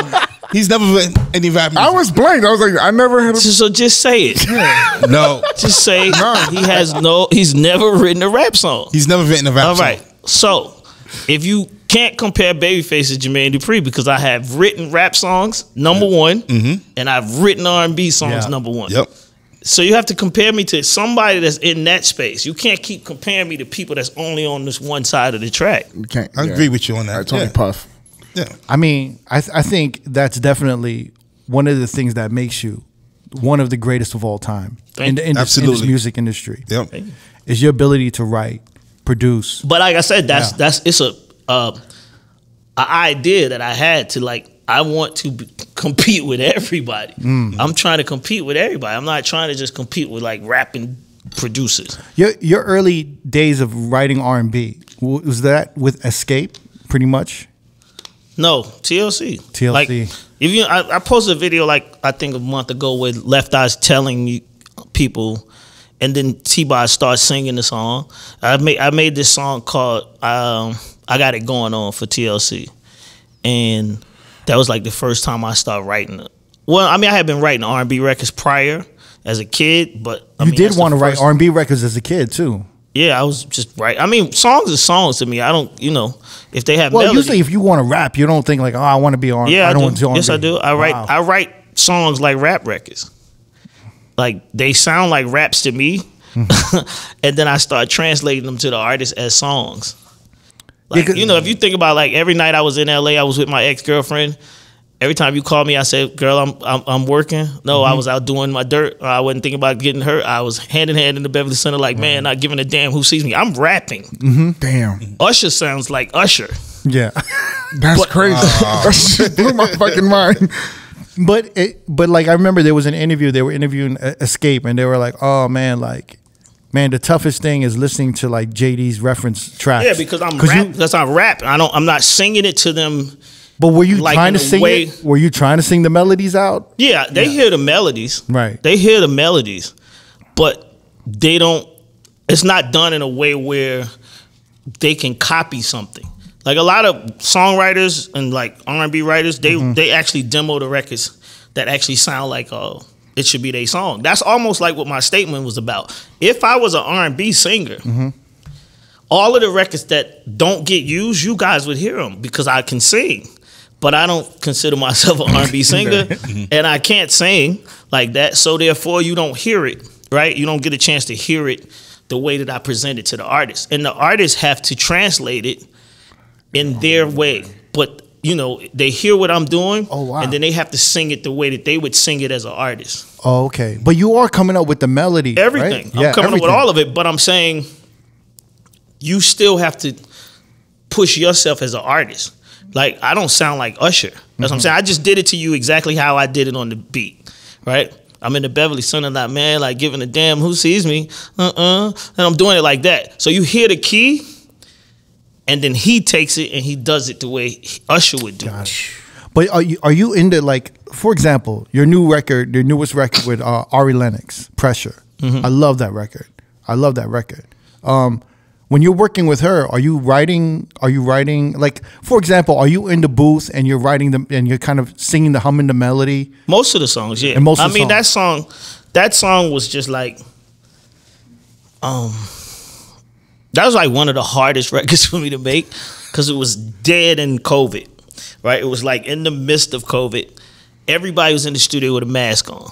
I couldn't even see her facial expressions when I'm talking to her. Mm. Like I didn't even know if she liked what I was saying because we all had masks on. Nobody wouldn't take their mask off. I definitely wasn't taking my mask off. I wasn't getting sick as shit, right? So I'm in there making the beat. Everybody got a mask on. You, I could barely hear people talking because you they got the mask on. Mm-hmm.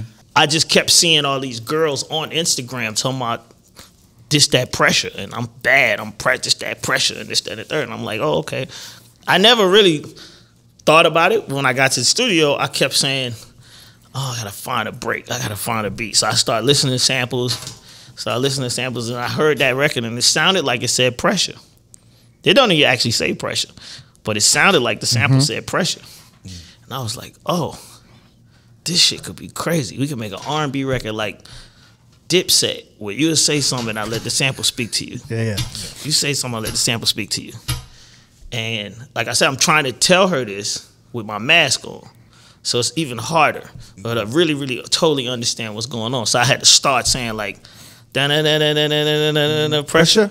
You know what I'm saying? I'm just, I don't have the words, but I'm saying like this is what I'm saying. So we start laying the record out like that. It was kind of hard to make it though, but it made it. So that's that's how it works pretty much. You get the idea and the premise, and then like the melody comes up, and you yeah. Kind of, and if I have like, yeah. and if I got other writers in the studio, mm-hmm most of the time I try to like lead them in the direction of what I'm hearing first. and the, the beat comes first though, right? Yeah, always. It's funny because when I've seen you on like in on your IG and your Instagram, you're still using like the MPC. Yeah. Still using. Still what using I'm supposed it. to do like I don't know. to it?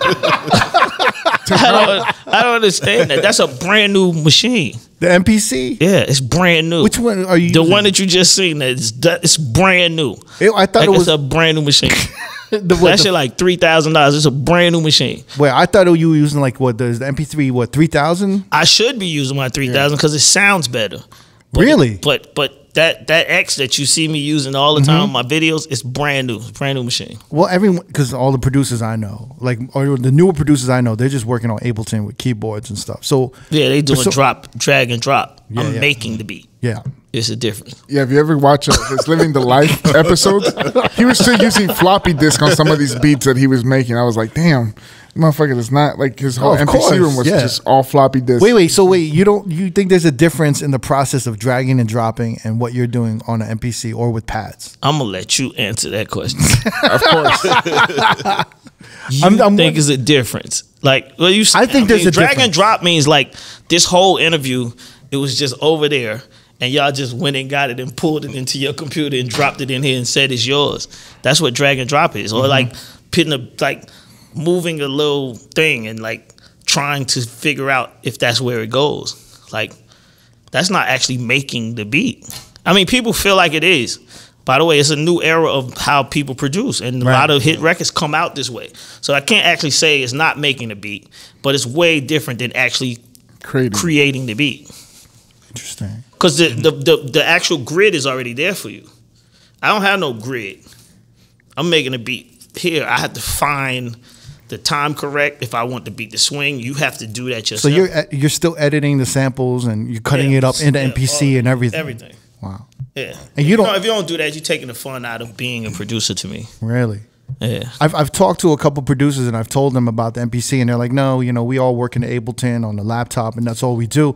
And then one of them switched over and they said, oh my god, I'm having so much more fun, and I'm tapping in. I'm I'm like tapping into different like creative spaces that I haven't done by using like an MPC or like a like literally a manual pads. Yeah, it's because it's because you know, um, the MPC doesn't give you information for mistakes, and it doesn't give you information for, um, for people that's challenged, right? So if you get into a space in the MPC and you don't know what to do, naturally, us guys that's been on these MPs, we figure it out ourselves, right? So like for so long, I had an MP, and if you sample on the MP, you had to save it first before you had before you could sample, right? I would make beats for two, three, four hours.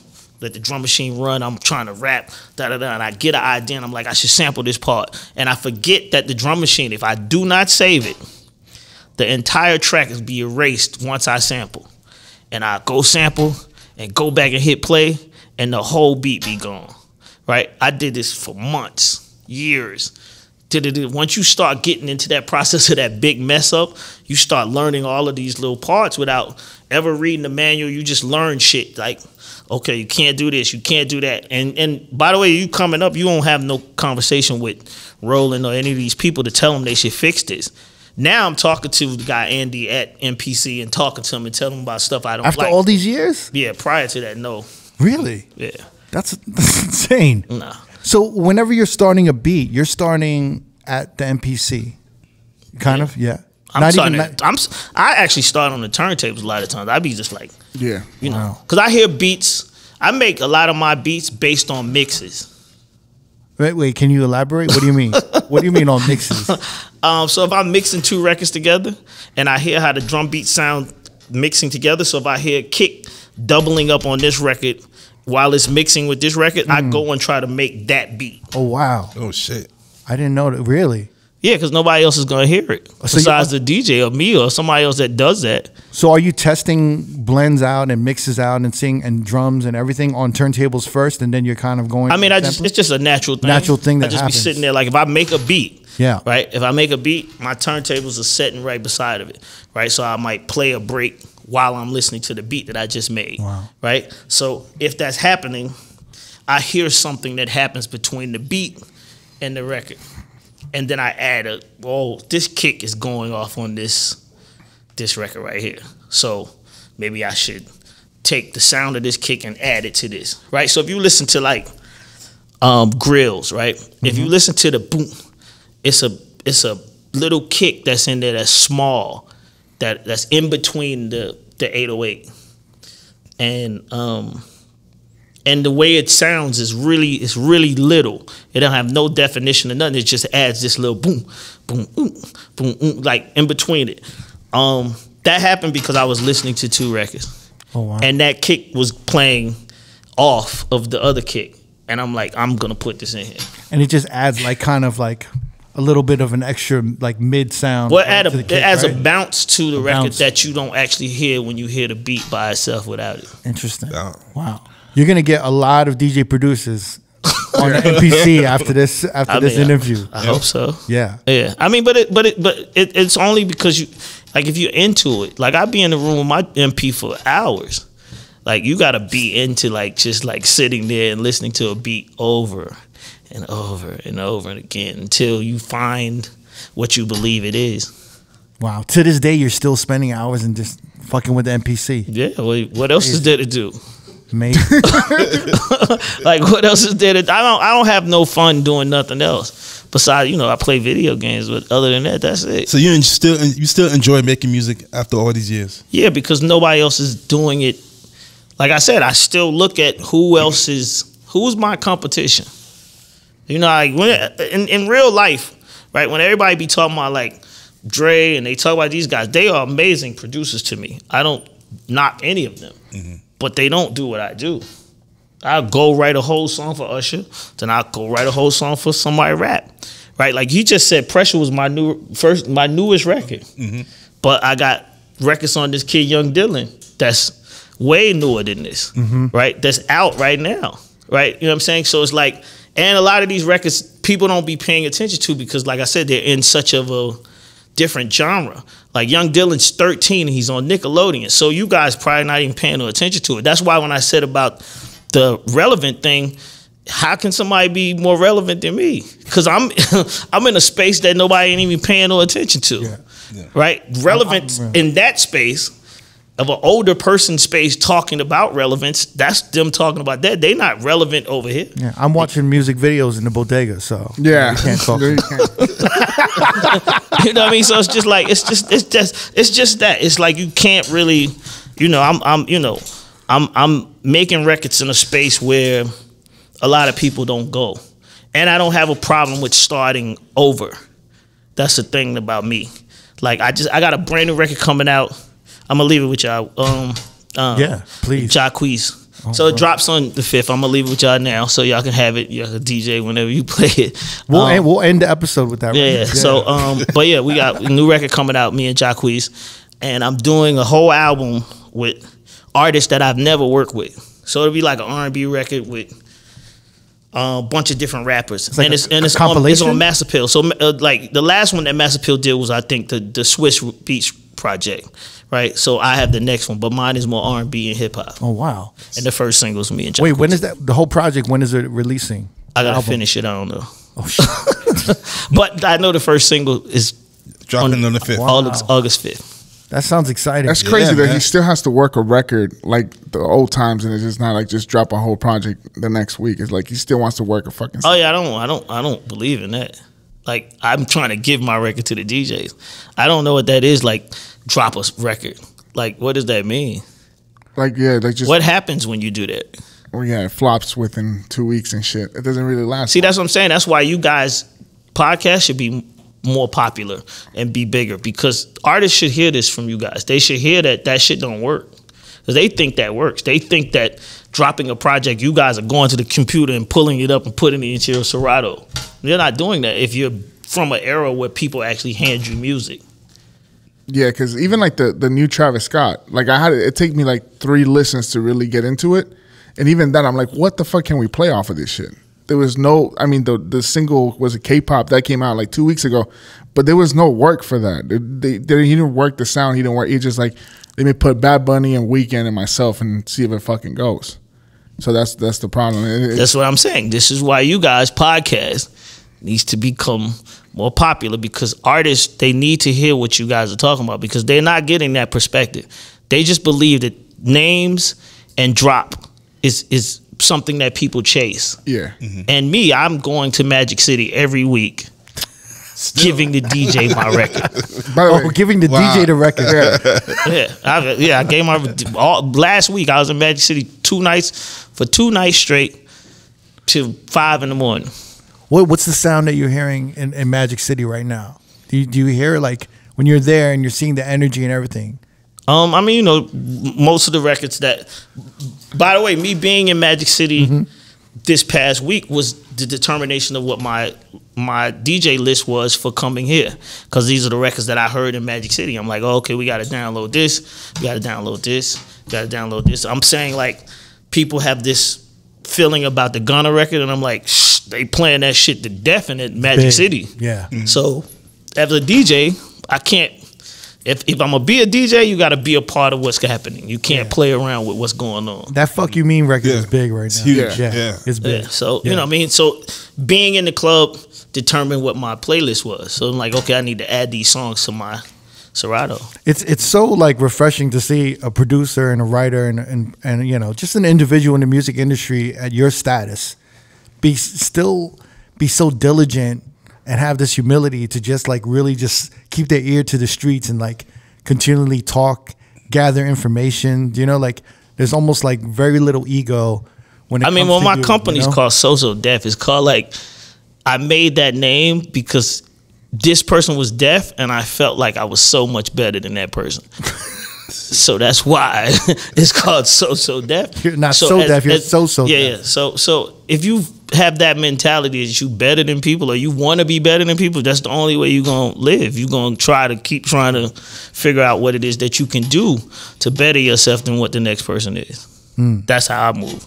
There's a DJ in LA. His name's uh, Artistic, Mm-hmm. and um, he he's kind of he's actually a really great DJ. Yeah, JD, I think you would love him if you heard him on Twitter. He compiled a, a list of the top 190s R&B songs. Mm-hmm. Uh, but it was what was so interesting about it. Here's the top 50 right here. Yeah. So what was so interesting about this list was it was really a list of young people who didn't grow up during the 90s, but they were kind of listing their favorite 100 songs from the 90s.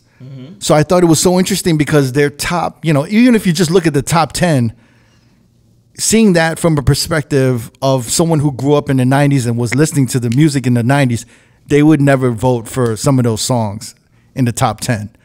Um, but some of them, some of them definitely are, you know, are worthy of being there.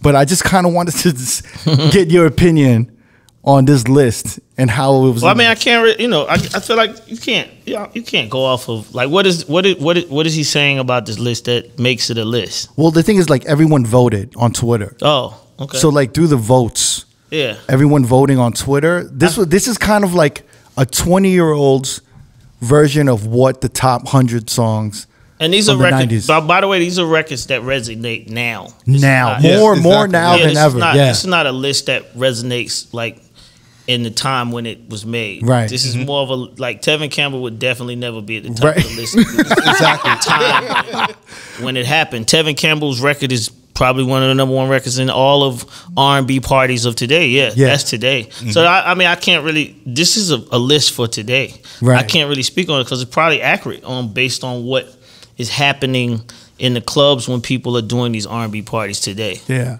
So when you see this, you're just completely like, this would never. Well, so my question was this: in your, do you have a top five or top ten from the '90s, the top '90s R&B R&B songs? Nah. No, No, no. Um, nah. no. I mean, because I don't actually, you know, it's crazy because I don't, I be, I be trying to figure out, like, nah. Because, I mean, in the 90s, for me, this this list is like R&B too, right? Yeah, Yeah. Uh, So are you talking about R&B list? R&B.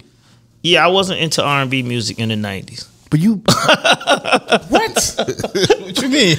like I, I say this because it's I'm laughing because I was you know I was I'm with Daniel from Dru Hill I mean from uh, Division all the time right? Yeah. and I told him the same thing like I I'm I'm, I'm I come from hip hop I don't come from R and B. I was a kid I was a break dancer. I grew up wanting to DJ rap do graffiti and break dance if you came up in the era that I came up in you didn't even like R and B music. R and B artists was whack to you. It was like for the older, Yeah, for the, for un- older the older people. brothers and sisters and the It wasn't something Yeah. that we was like gravitating to. So I wasn't even gravitating to R and B music. So that's what I'm saying. When you listen to my R and B songs, they're written like rap records. They're written as rap records. Um, when I did my my way for Usher, Mm-hmm. this is the first time I ever worked with an R and B artist, male. I didn't know what I was doing. I didn't know how it was going to turn out, and I had no kind of way to follow prior to me getting to that space. so when you were working with Xscape, you were just really writing all those songs like from a hip hop writer. Yeah, so like even if you listen to Xscape, right? Some Yeah. of them people that be talking about Xscape, like if you listen to Xscape song, just kicking, it's written from a male's perspective. It says every man wants a woman. It, that's not how women talk. right. You know what I mean? Like, mm-hmm. but people don't. I, I don't think people. I mean, I heard people talk about that, and they'd be like, "Why would? Why would the lyrics say that? Why would? Why would they start a song that says every man wants a woman that him and her can go just go hang a woman? He, it, it, the whole song was written from my perspective of what a man wants. So like, it's it's just unorthodox of like what R and B records were prior to that. I mean, you made some really good R&B records. Yeah. Fucking song of the decade. Yeah, well, I'm just saying it's just my writing style is just a different. The way I go about making songs is So you're different. telling me you can't give me a top five because you didn't listen to R&B and not 90s? like that. Really? I mean, you know, I'm a because I'm a Teddy Riley junkie. Uh-huh. My top five probably would have been like you know, Let's Chill, Hmm. Goodbye, Teddy. I- I'm sure, um, you know, my prerogative, Teddy Riley, heavy, like super heavy Teddy Riley, um, Roni, these like Bobby Brown, these records in that era was It's like like the R&B we, we listened to during our era was like New Jack Swing. Yeah, yeah, yeah. So I mean, and Teddy Riley was like, you know, Teddy Riley is a god to me, right? So it's like, Right. I'm sure my top five is Teddy Riley records, easily. top five is all Teddy Riley. You know, like let's make make it last forever. right. Like it's probably all Teddy Riley. That's what I'm saying. He had Make It Last Forever. He had um, there's a right and a wrong. The whole Keith Sweat album. The first album. The whole first Keith Sweat album is all Teddy Riley. Yeah. Right? And then if you add these guy songs, it's, you know, I can't have a top five because I'm already past that. But it would all be, it would be all Teddy Riley for me. It wouldn't be none of these songs. Would you ever DJ like one of these like you know day parties, these R&B day parties? Would you ever want to do that? Um, I do it. I I've been doing it, but I don't do. I don't like I said. I don't do R and B. I just be doing. I be. do- I, I mix it in, but I do more hip hop. Well, they, I- they kind of mix everything in, but they, Yeah. they- but then you could just drop like you know Xscape understanding out of nowhere. Yeah, oh well, Yeah, I you did know? that. I did that. Yeah. What what what was week we came here? Uh, that was Cinco de Mayo. Yeah, so Cinco de Mayo weekend, Mm-hmm. I did the R and B block party. So they had the R and B block party that was at um, what was it, Aria? There was an R and B block party. Yeah, it's it's an R&B block party that goes around the country, right? And it's made up by um, Family from that's Pharrell's homeboy, right? And they have this thing called the R&B block party where they actually do these basic shows, and all they play is R&B music. And I was the headline DJ for that weekend, um, and um, it was it was crazy because it was like I'm gonna show people that I could DJ a whole hour a full hour and play nothing but the ballads that I made. No up tempos. I played nothing but the ballads that I wrote. I think that'd be amazing. I did it. And I people, think you should people take was back I there like, yo, what? Wait, wait a minute. And I'm saying I'm not gonna play nobody else's records. Yeah. I'm only gonna play my ballads, not up tempos, not nothing else. I'm only gonna play the ballads. You're gonna play all the ballads, and I mean, I mean, you know, more s- slower tempo. I mean, I played pressure, of course, but Mm-hmm. if it's more down tempo, I played all the records that was in that space, so you can the tone would be like that for a whole hour. Wow. I feel like Yeah. you should take that on the road. I would love to hear that. Oh no, we supposed to do Yeah. it. They got Lollapalooza. We supposed to do it. I think they got it got canceled. But this group of guys that do this, they Yeah, have yeah. a, it's called an R&B block party. They take it's like a you know a DJ um, festival thing. Oh man, Yeah, but they doing all R&B music. I would love that. Yeah. I, I would. I would pay to see that shit. Dude, I would pay to- Absolutely. Yeah. Yeah. They just had it here in Vegas. We didn't know anything that's what I'm about saying. it. But that's, that's what I'm trying to tell you. That's what that's that's. By the way, that's why this is one of the reasons why I came here. I came here because I feel like you guys. Not that I can make it that much bigger, but I'm saying I feel like you guys in this podcast need to. It's more important to be heard, right? And people should start connecting these dots more and understand how much, you know, how much the information that we talking about really, really matters to what people are out there doing. Yeah. Well, I mean, we uh, we appreciate that for Yeah. real. We appreciate your time here, man. I Yeah. mean, Sure. This is Alright. like uh, we've talked about you so much. We were just talking with Lathan. We we talk about you so much throughout all our episodes. Uh oh. So this Yeah. was uh, no, in a good way, in a good way. No, no, in a good way. In a great way. Yeah, yeah. He's like, uh, what? no, no, like, and you know, it just meant like uh for us, it's just like for real. It's like a surreal moment to have you on. Yeah. So, but we appreciate it, man. No, I for real. appreciate it, for Bef- Before we leave, I, I I gotta know. You said you play video games. You game and shit. Yeah. What What do you play? I mean, 2K. Um, 2K? Yeah, 2K for hours. Oh shit. Okay. And Mortal Kombat for hours. Mortal Kombat. Yeah. the new one, right? That's just Yeah. dope. Wow. So you don't do Warzone? You don't do that? No, I don't like um, Shooter game? being the person game. Oh, one Oh, person game? Yeah, I don't first like. person. I, Oh, I don't like being first person game. I want to. I will actually see the guy that I'm moving around. Pause. yeah. Uh, but. All right. I, JD. I have one more question. ahead. Um, are you interested in doing any parties from like DJs that they build up, like the R&B and Ribs, which is the R&B party up in the Bay Area, or even here, like a, a Sim City and stuff? Like, you interested in doing those type of things, or Always. I mean, mo- majority. I've you know, I'm expensive, so a lot of times that's why I don't. it's a budget issue. I don't, budget yeah, a lot of times it just doesn't happen because I'm more expensive than what the, the promoters want to pay. Um, but I mean, you know, if, if they find the money, I'm there. on You gotta have the budget first. Yeah, you got. I mean, because I don't. I, I think a lot of times that these guys, they don't. They take, if not DJs, but promoters. They just think about DJs, right? And to be honest, it's DJs in Atlanta that's so underpaid. Like they're doing six hours for two hundred fifty dollars, three fifty. Six hours for three fifty? No fucking way. It's in a lot it's of not- places, Judy. Like I mean, it happens out here in Vegas also. it happens in Vegas Yeah. too. This I'm saying. This is what I'm saying. That's what I'm telling you. The promoters, we should, we should go on strike like the writers. Like the writers? like real. Like if the DJ don't come to the party, what the fuck y'all gonna do then? You know what I'm saying? Like for real, it's not. It don't make no sense because the DJ means so much to parties. The DJ means so much to the vibe. It should be taken a little bit more seriously than what it is. So me. In the process of doing this DJing thing, I was doing DJing for like whatever would happen, right? Because I wanted DJ so bad. But then I also started watching, like, say for instance, like Tryst. I was telling uh, Lathan about Tryst. I'm, I made that club pop. I don't care what nobody said. Like, what no other DJs making that club jump like that? Because we would be here on Friday night. So the night before I would DJ on Saturday, I go to Tryst. You know what I mean? Like we go to the club to see it if anybody else was in there, mm-hmm. and the traffic that was coming into that club on the nights that I was DJing was mm-hmm. completely different than anybody else that was in there. Yeah. Right. So so when you start seeing that and you see what what you're bringing to the environment, you gotta make the promoters understand that they gotta pay for it. And if they don't, they really gotta pay for it. It's going to be a weird time though with AI coming out. No, Um, You know. no. Yeah. How? You I I think- think AI DJ. I think it's gonna happen a little bit, a little bit more. No. In- but in, in like in like smaller venues. I think like smaller, smaller like lounges, bars, clubs. I think. Well, what gonna part of it you talking about? Like, what are you talking about? Just people just playing music and to just be an AI DJ? I think AI is just gonna know and figure out what songs, what to play, where to play, where to when play to- when to certain play songs, yeah. Nah. and then um and wh- at what times and what's what's a, what's more effective. And I they, think that'd be hard- and they're already hard. they're already knowing how to like blend it and mix But it, it doesn't and everything. stay though.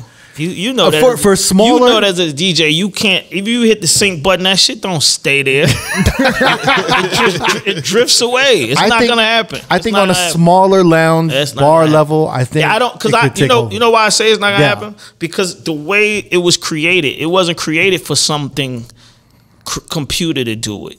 Like DJing actually takes you understanding. Even like me, like I come from turntables Mm-hmm. and I'd be watching myself like tap this the speed wheel on the CDJ, right? To try to keep it and the shit don't it don't it don't it does not do it the way Turn- turntables would do do it. Mm-hmm. Like you actually I can't even say it because it's a pause. But you actually You saying the squeeze? The squeeze on the knob. yeah, like yeah, yeah, you know what I'm talking about. Pause. yeah. Uh, and just to spin, just to slow the record down, right? You you doing that, you can slow the record down without actually even touching the vinyl, and it's just a thing that just happens naturally, right? And it, and if you're mixing, right, if you're actually mixing records, these are things that just they just are just like like women having babies. Like when you DJ, you just know that this is what it is. You don't have to have nobody tell you what to do. You just know that this is how you DJ and this is how you slow records down in order to go into other things. I don't believe you're gonna if so if you have AI doing it, you just it's not gonna be authentic like that. I don't think it will, but I think it'll be just good enough. Nah. Just For- for- don't say and- that. and Just I, I feel. Don't say that. I feel like this is the way the world works. Is that everybody, if like oh yeah, right we now, are in that. We are in a space where people don't care. Where it's just just good enough to get by. this is the most just good enough Oh, yeah, yeah, yeah. era gotta- in the we whole gotta world. change like everything is just Yeah, good yeah, enough. we got we got you know change, what I'm saying? We got to change that though. We can't just be just good enough. Of course, but I, because it, by the way, it's gonna Yeah. it's gonna hurt the same way that that message came out a month ago about hip hop. Mm. Like people saw that and was like, oh, oh shit, like oh, ain't been no number one hip hop records this whole year. Ain't been no number one hip hop record period Mm-hmm. in the whole year 2023 till we get to August. That's a that's huge statement. That you had people out here saying hip hop was the number one genre, blah blah blah. Now then you go almost a whole year with no number one record.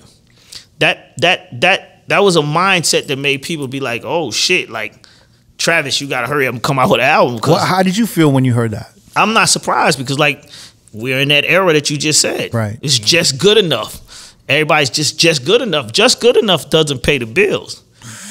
Right? That's why you see tour. I'm telling you, that's why tours, people all these big artists, they tours ain't working because they just trying to be just good enough. You gotta push past just good enough. You gotta come back to because like like you said, you just showed me a list of young kids mm-hmm. that are listening to records that weren't just good enough.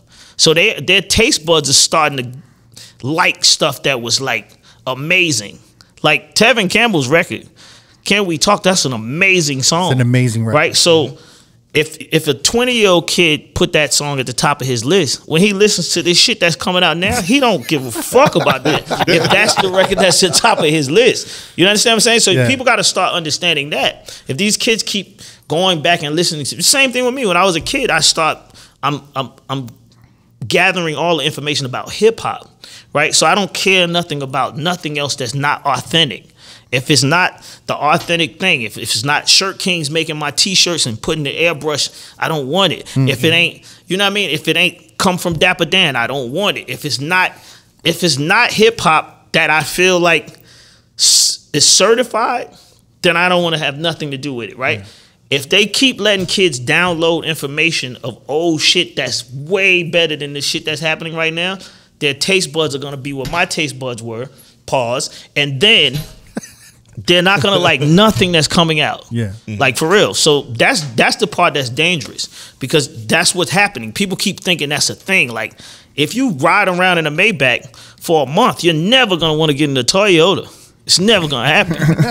a Toyota come pick you up, you're gonna be mad as fuck. Somebody sent you a Toyota, you can ride around in a Maybach. You're not gonna even want to get in that shit, right? That's what's gonna happen if you keep letting them download this amazing music and making lists and talking about it and listening to Aaliyah and all these artists. They gonna start saying like, "This is trash. This the shit I want to hear. Who gonna make this?" Right? And the closest people that make what that is, that's what the generations is gonna start flocking to. Are you slightly curious about dabbling or fucking with AI at all for No. production? Not at all. I don't like anything fake. Mm. Right? So I don't I don't I don't I don't think it's cool to be able to say that you have a record with Biggie. Mm. Right? I don't I don't understand that cuz that like I think the the the excitement of you being able to say that you work with Biggie Smalls is a jewel that you can have only if you mm-hmm. did it. Just like when y'all asked me about working with Tupac. I didn't. That's something that didn't happen in my life, and I got to deal with that. I'm not gonna make a fake Tupac song say I made a record with Tupac. It's gonna be fake. Like that's not cool, right? And and I feel like the world ain't made for everybody. Like people got to stop doing that, right? When we talk about R&B and we talk about hip hop, these are two separate genres, right? And for some reason, when a conversation happened is R and B, all these rap motherfuckers trying to talk about what they would, what was. You don't have nothing to do with R and B. Like, stay over here where the fuck you at. Ain't no need for you to even be talking about R and the same thing for hip hop. If it's a hip hop conversation, nobody from R and B should be over in there unless you actually are making both. If you're not making both, then you're you don't really know what you can. You don't have no real say in the dominance of what's happening on both sides. That's just how I feel, and I know people gonna have a lot to say about that. What I'm saying right now, but it's the truth. What are, what are you talking about specifically though? About I'm just saying, like, if I make R and B records, Yeah. nobody could, somebody, nobody from hip hop understand. Like, if you're a real hip hop person, Hmm. right?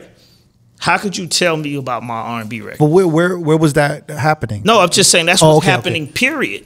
That's what you see every day on the internet, right? You see, all you see on the internet is everybody chiming in Mm-hmm. on everything. Having Yeah, Right. A top list. Yeah, like y- how can everybody chime in on everything? Everybody's not capable of doing everything. Like just like you talking about gaming, right? If you just have gaming and somebody plays um, Call of Duty Yeah. and all they play is and I, all I play is NBA 2K, I can't have a conversation about Call of Duty. But people that just because they play games, they still want to get in the conversation. You have no right to get in the conversation. You don't even know what's going on. The- when the the, pro- dude go around the door and pull out the gun and da da da da, you don't know what's happening, right? And what type of gun you supposed to use and all of this. I'm here. I be hearing my I know, JD. I feel like you should start fucking with K- Nah, Call listen, of Duty. You know what you're talking about, right? Now. I hear my homeboys talking about it. Listen, they be telling me like, JD, you be up so late, you should get on Call of Duty. I'm like, fuck no, I'm playing basketball. I'm beating somebody ass in Japan right now. Man, I would love to play Call of Duty. Yeah. Yeah, nah, I'm I would play fucking- Warzone with you one day. Nah, I'm not with it. I just seen Nicki Minaj is on Call of Duty now. Really? Yeah, she's a character. She got a character on Jesus. there. Oh, oh. Have you thought of uh, doing Twitch and all that shit? Because I know you were big on the vlogs back in it. By the way, you probably were the first. Don't Like- do that. Don't do that. We don't. We don't want the more, no more arguments about me being the first. No, you were early on vlogging, like way 2007, 2008, before a lot of people were doing vlogging. And I love that because you would show like making a beat, all the behind the scenes stuff, even uh, Dondria's career. Like that was pretty sick. Yeah. But like you never thought about doing that again for even like gaming or anything like that? Nah. I mean, I did the first one. That I just did my first, like, um, I guess, um, beat making. Um, well, not beat making, but talking about equipment. Yeah. And I just did one where I'm actually like talking to the people about the the drum machine Production. the no no the actual Just the functionality of the drum machine uh, tutorial. So that's what they call it on on on on uh, YouTube. Uh, so I basically just did my first drum machine tutorial about me finding a space of trying to record into the drum machine, just like a whole thing. And it was my first one, and you know, pe- I was watching people respond to it, and they was like, "Oh shit." this uh, our our life is over if people like Jermaine Dupri starts making tutorials. so I was like, oh shit, I'm, I ain't gonna keep doing this because they they gonna feel like I'm taking over their space or something. But yeah, I mean, I, I don't really. I mean, I do it just out of fun, but it's not something I'm really like gonna do. Because I missed the living the life episode. Yeah, yeah. I mean, well, living a life was crazy because I was carrying the camera, and I and, and by the way, I, I didn't know. I got I got burnt out with living a life because I felt like people didn't understand how much access I was giving people to see. It was a lot. and nobody responded to it. Like nobody was giving me no podcast money. Nobody wasn't coming to me saying nothing. you were too early in the That game. was yeah. That was, It was too early. Yeah, but that's what I'm saying. That's why I keep telling y'all about the relevance thing. Like it's like if I'm too early, how am I not relevant? It's just that's the whole definition of relevance. It's like you have to be the start of things, right? So that's what I'm saying. When I'm that hurt early and don't nobody respond, then I'd be like, ah, fuck it. I guess I, I guess that's not it. Because you kind of made even your own Reddit with Global 14.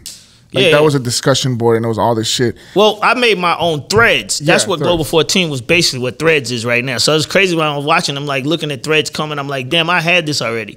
Like I signed 80,000 people to my own Yeah. social network, right? That that actually actually signed up to my own social network. and I made a profile. writing- and they was writing their own messages on my own my own social network. Yeah, he would have like discussions and like questions of the day or whatever the fuck it was. I did all that. But but like I said, as I'm sitting there and nobody responding, like I was looking for, you know, seed money and all of this type of shit at that time, but nobody was coming. They was acting like what I was doing wasn't even like real. So I just got I get to a point where I'm like, okay, on to the next thing. Let me figure out something else to do. That's how we feel when we get like a record that we really love. and We try to push it in the club and it, And it doesn't, doesn't work. And then we're just like, all right, well. And But why it, don't it work? it just doesn't work? Some of these newer records. Oh, well that means it's not good then. And then six months later, it'll just become huge. yeah. Oh, And then I'll just be like, oh, I don't want to even fucking play this record now uh. because I was giving it a chance earlier. Mm-hmm. But you like, I think the f- one thing I'm gonna say for DJs, if y'all doing that, y'all should make sure that y'all like put something out to make sure that the, the artists know that you guys are trying to break records because I feel like that used to happen. Like when people used to make dub plates and the DJ used to ask for an artist to put their name in the record or this, that, and the 3rd Um, I don't really hear none of that happening no more. Yeah. and all of that stuff. Well, remixes in itself, like the like the remixes of just reworking the beat and doing what you guys did in the '90s and 2000s. yeah. Like that would be amazing now. If yeah, they, would, but they I- just did it. that's what I'm saying. I think you guys have to speak up more and let let these people know. Look at him. He's like, You- fuck that you shit. know- You, know what?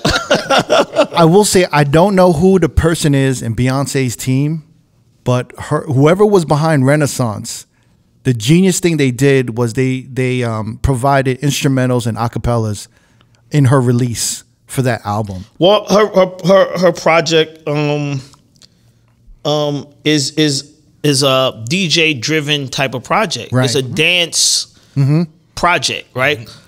So the number one person inside a dance party is the DJ, mm-hmm. right? So so you can't forget about the DJ if that's the that's what you're pushing. But that's the first acknowledgement I've seen from an artist when they're releasing their music to provide instrumentals and acapellas in a long time. Because if you look at hip hop, it's been I don't know over five or eight years since we've seen an instrumental or acapella Do y'all have threads?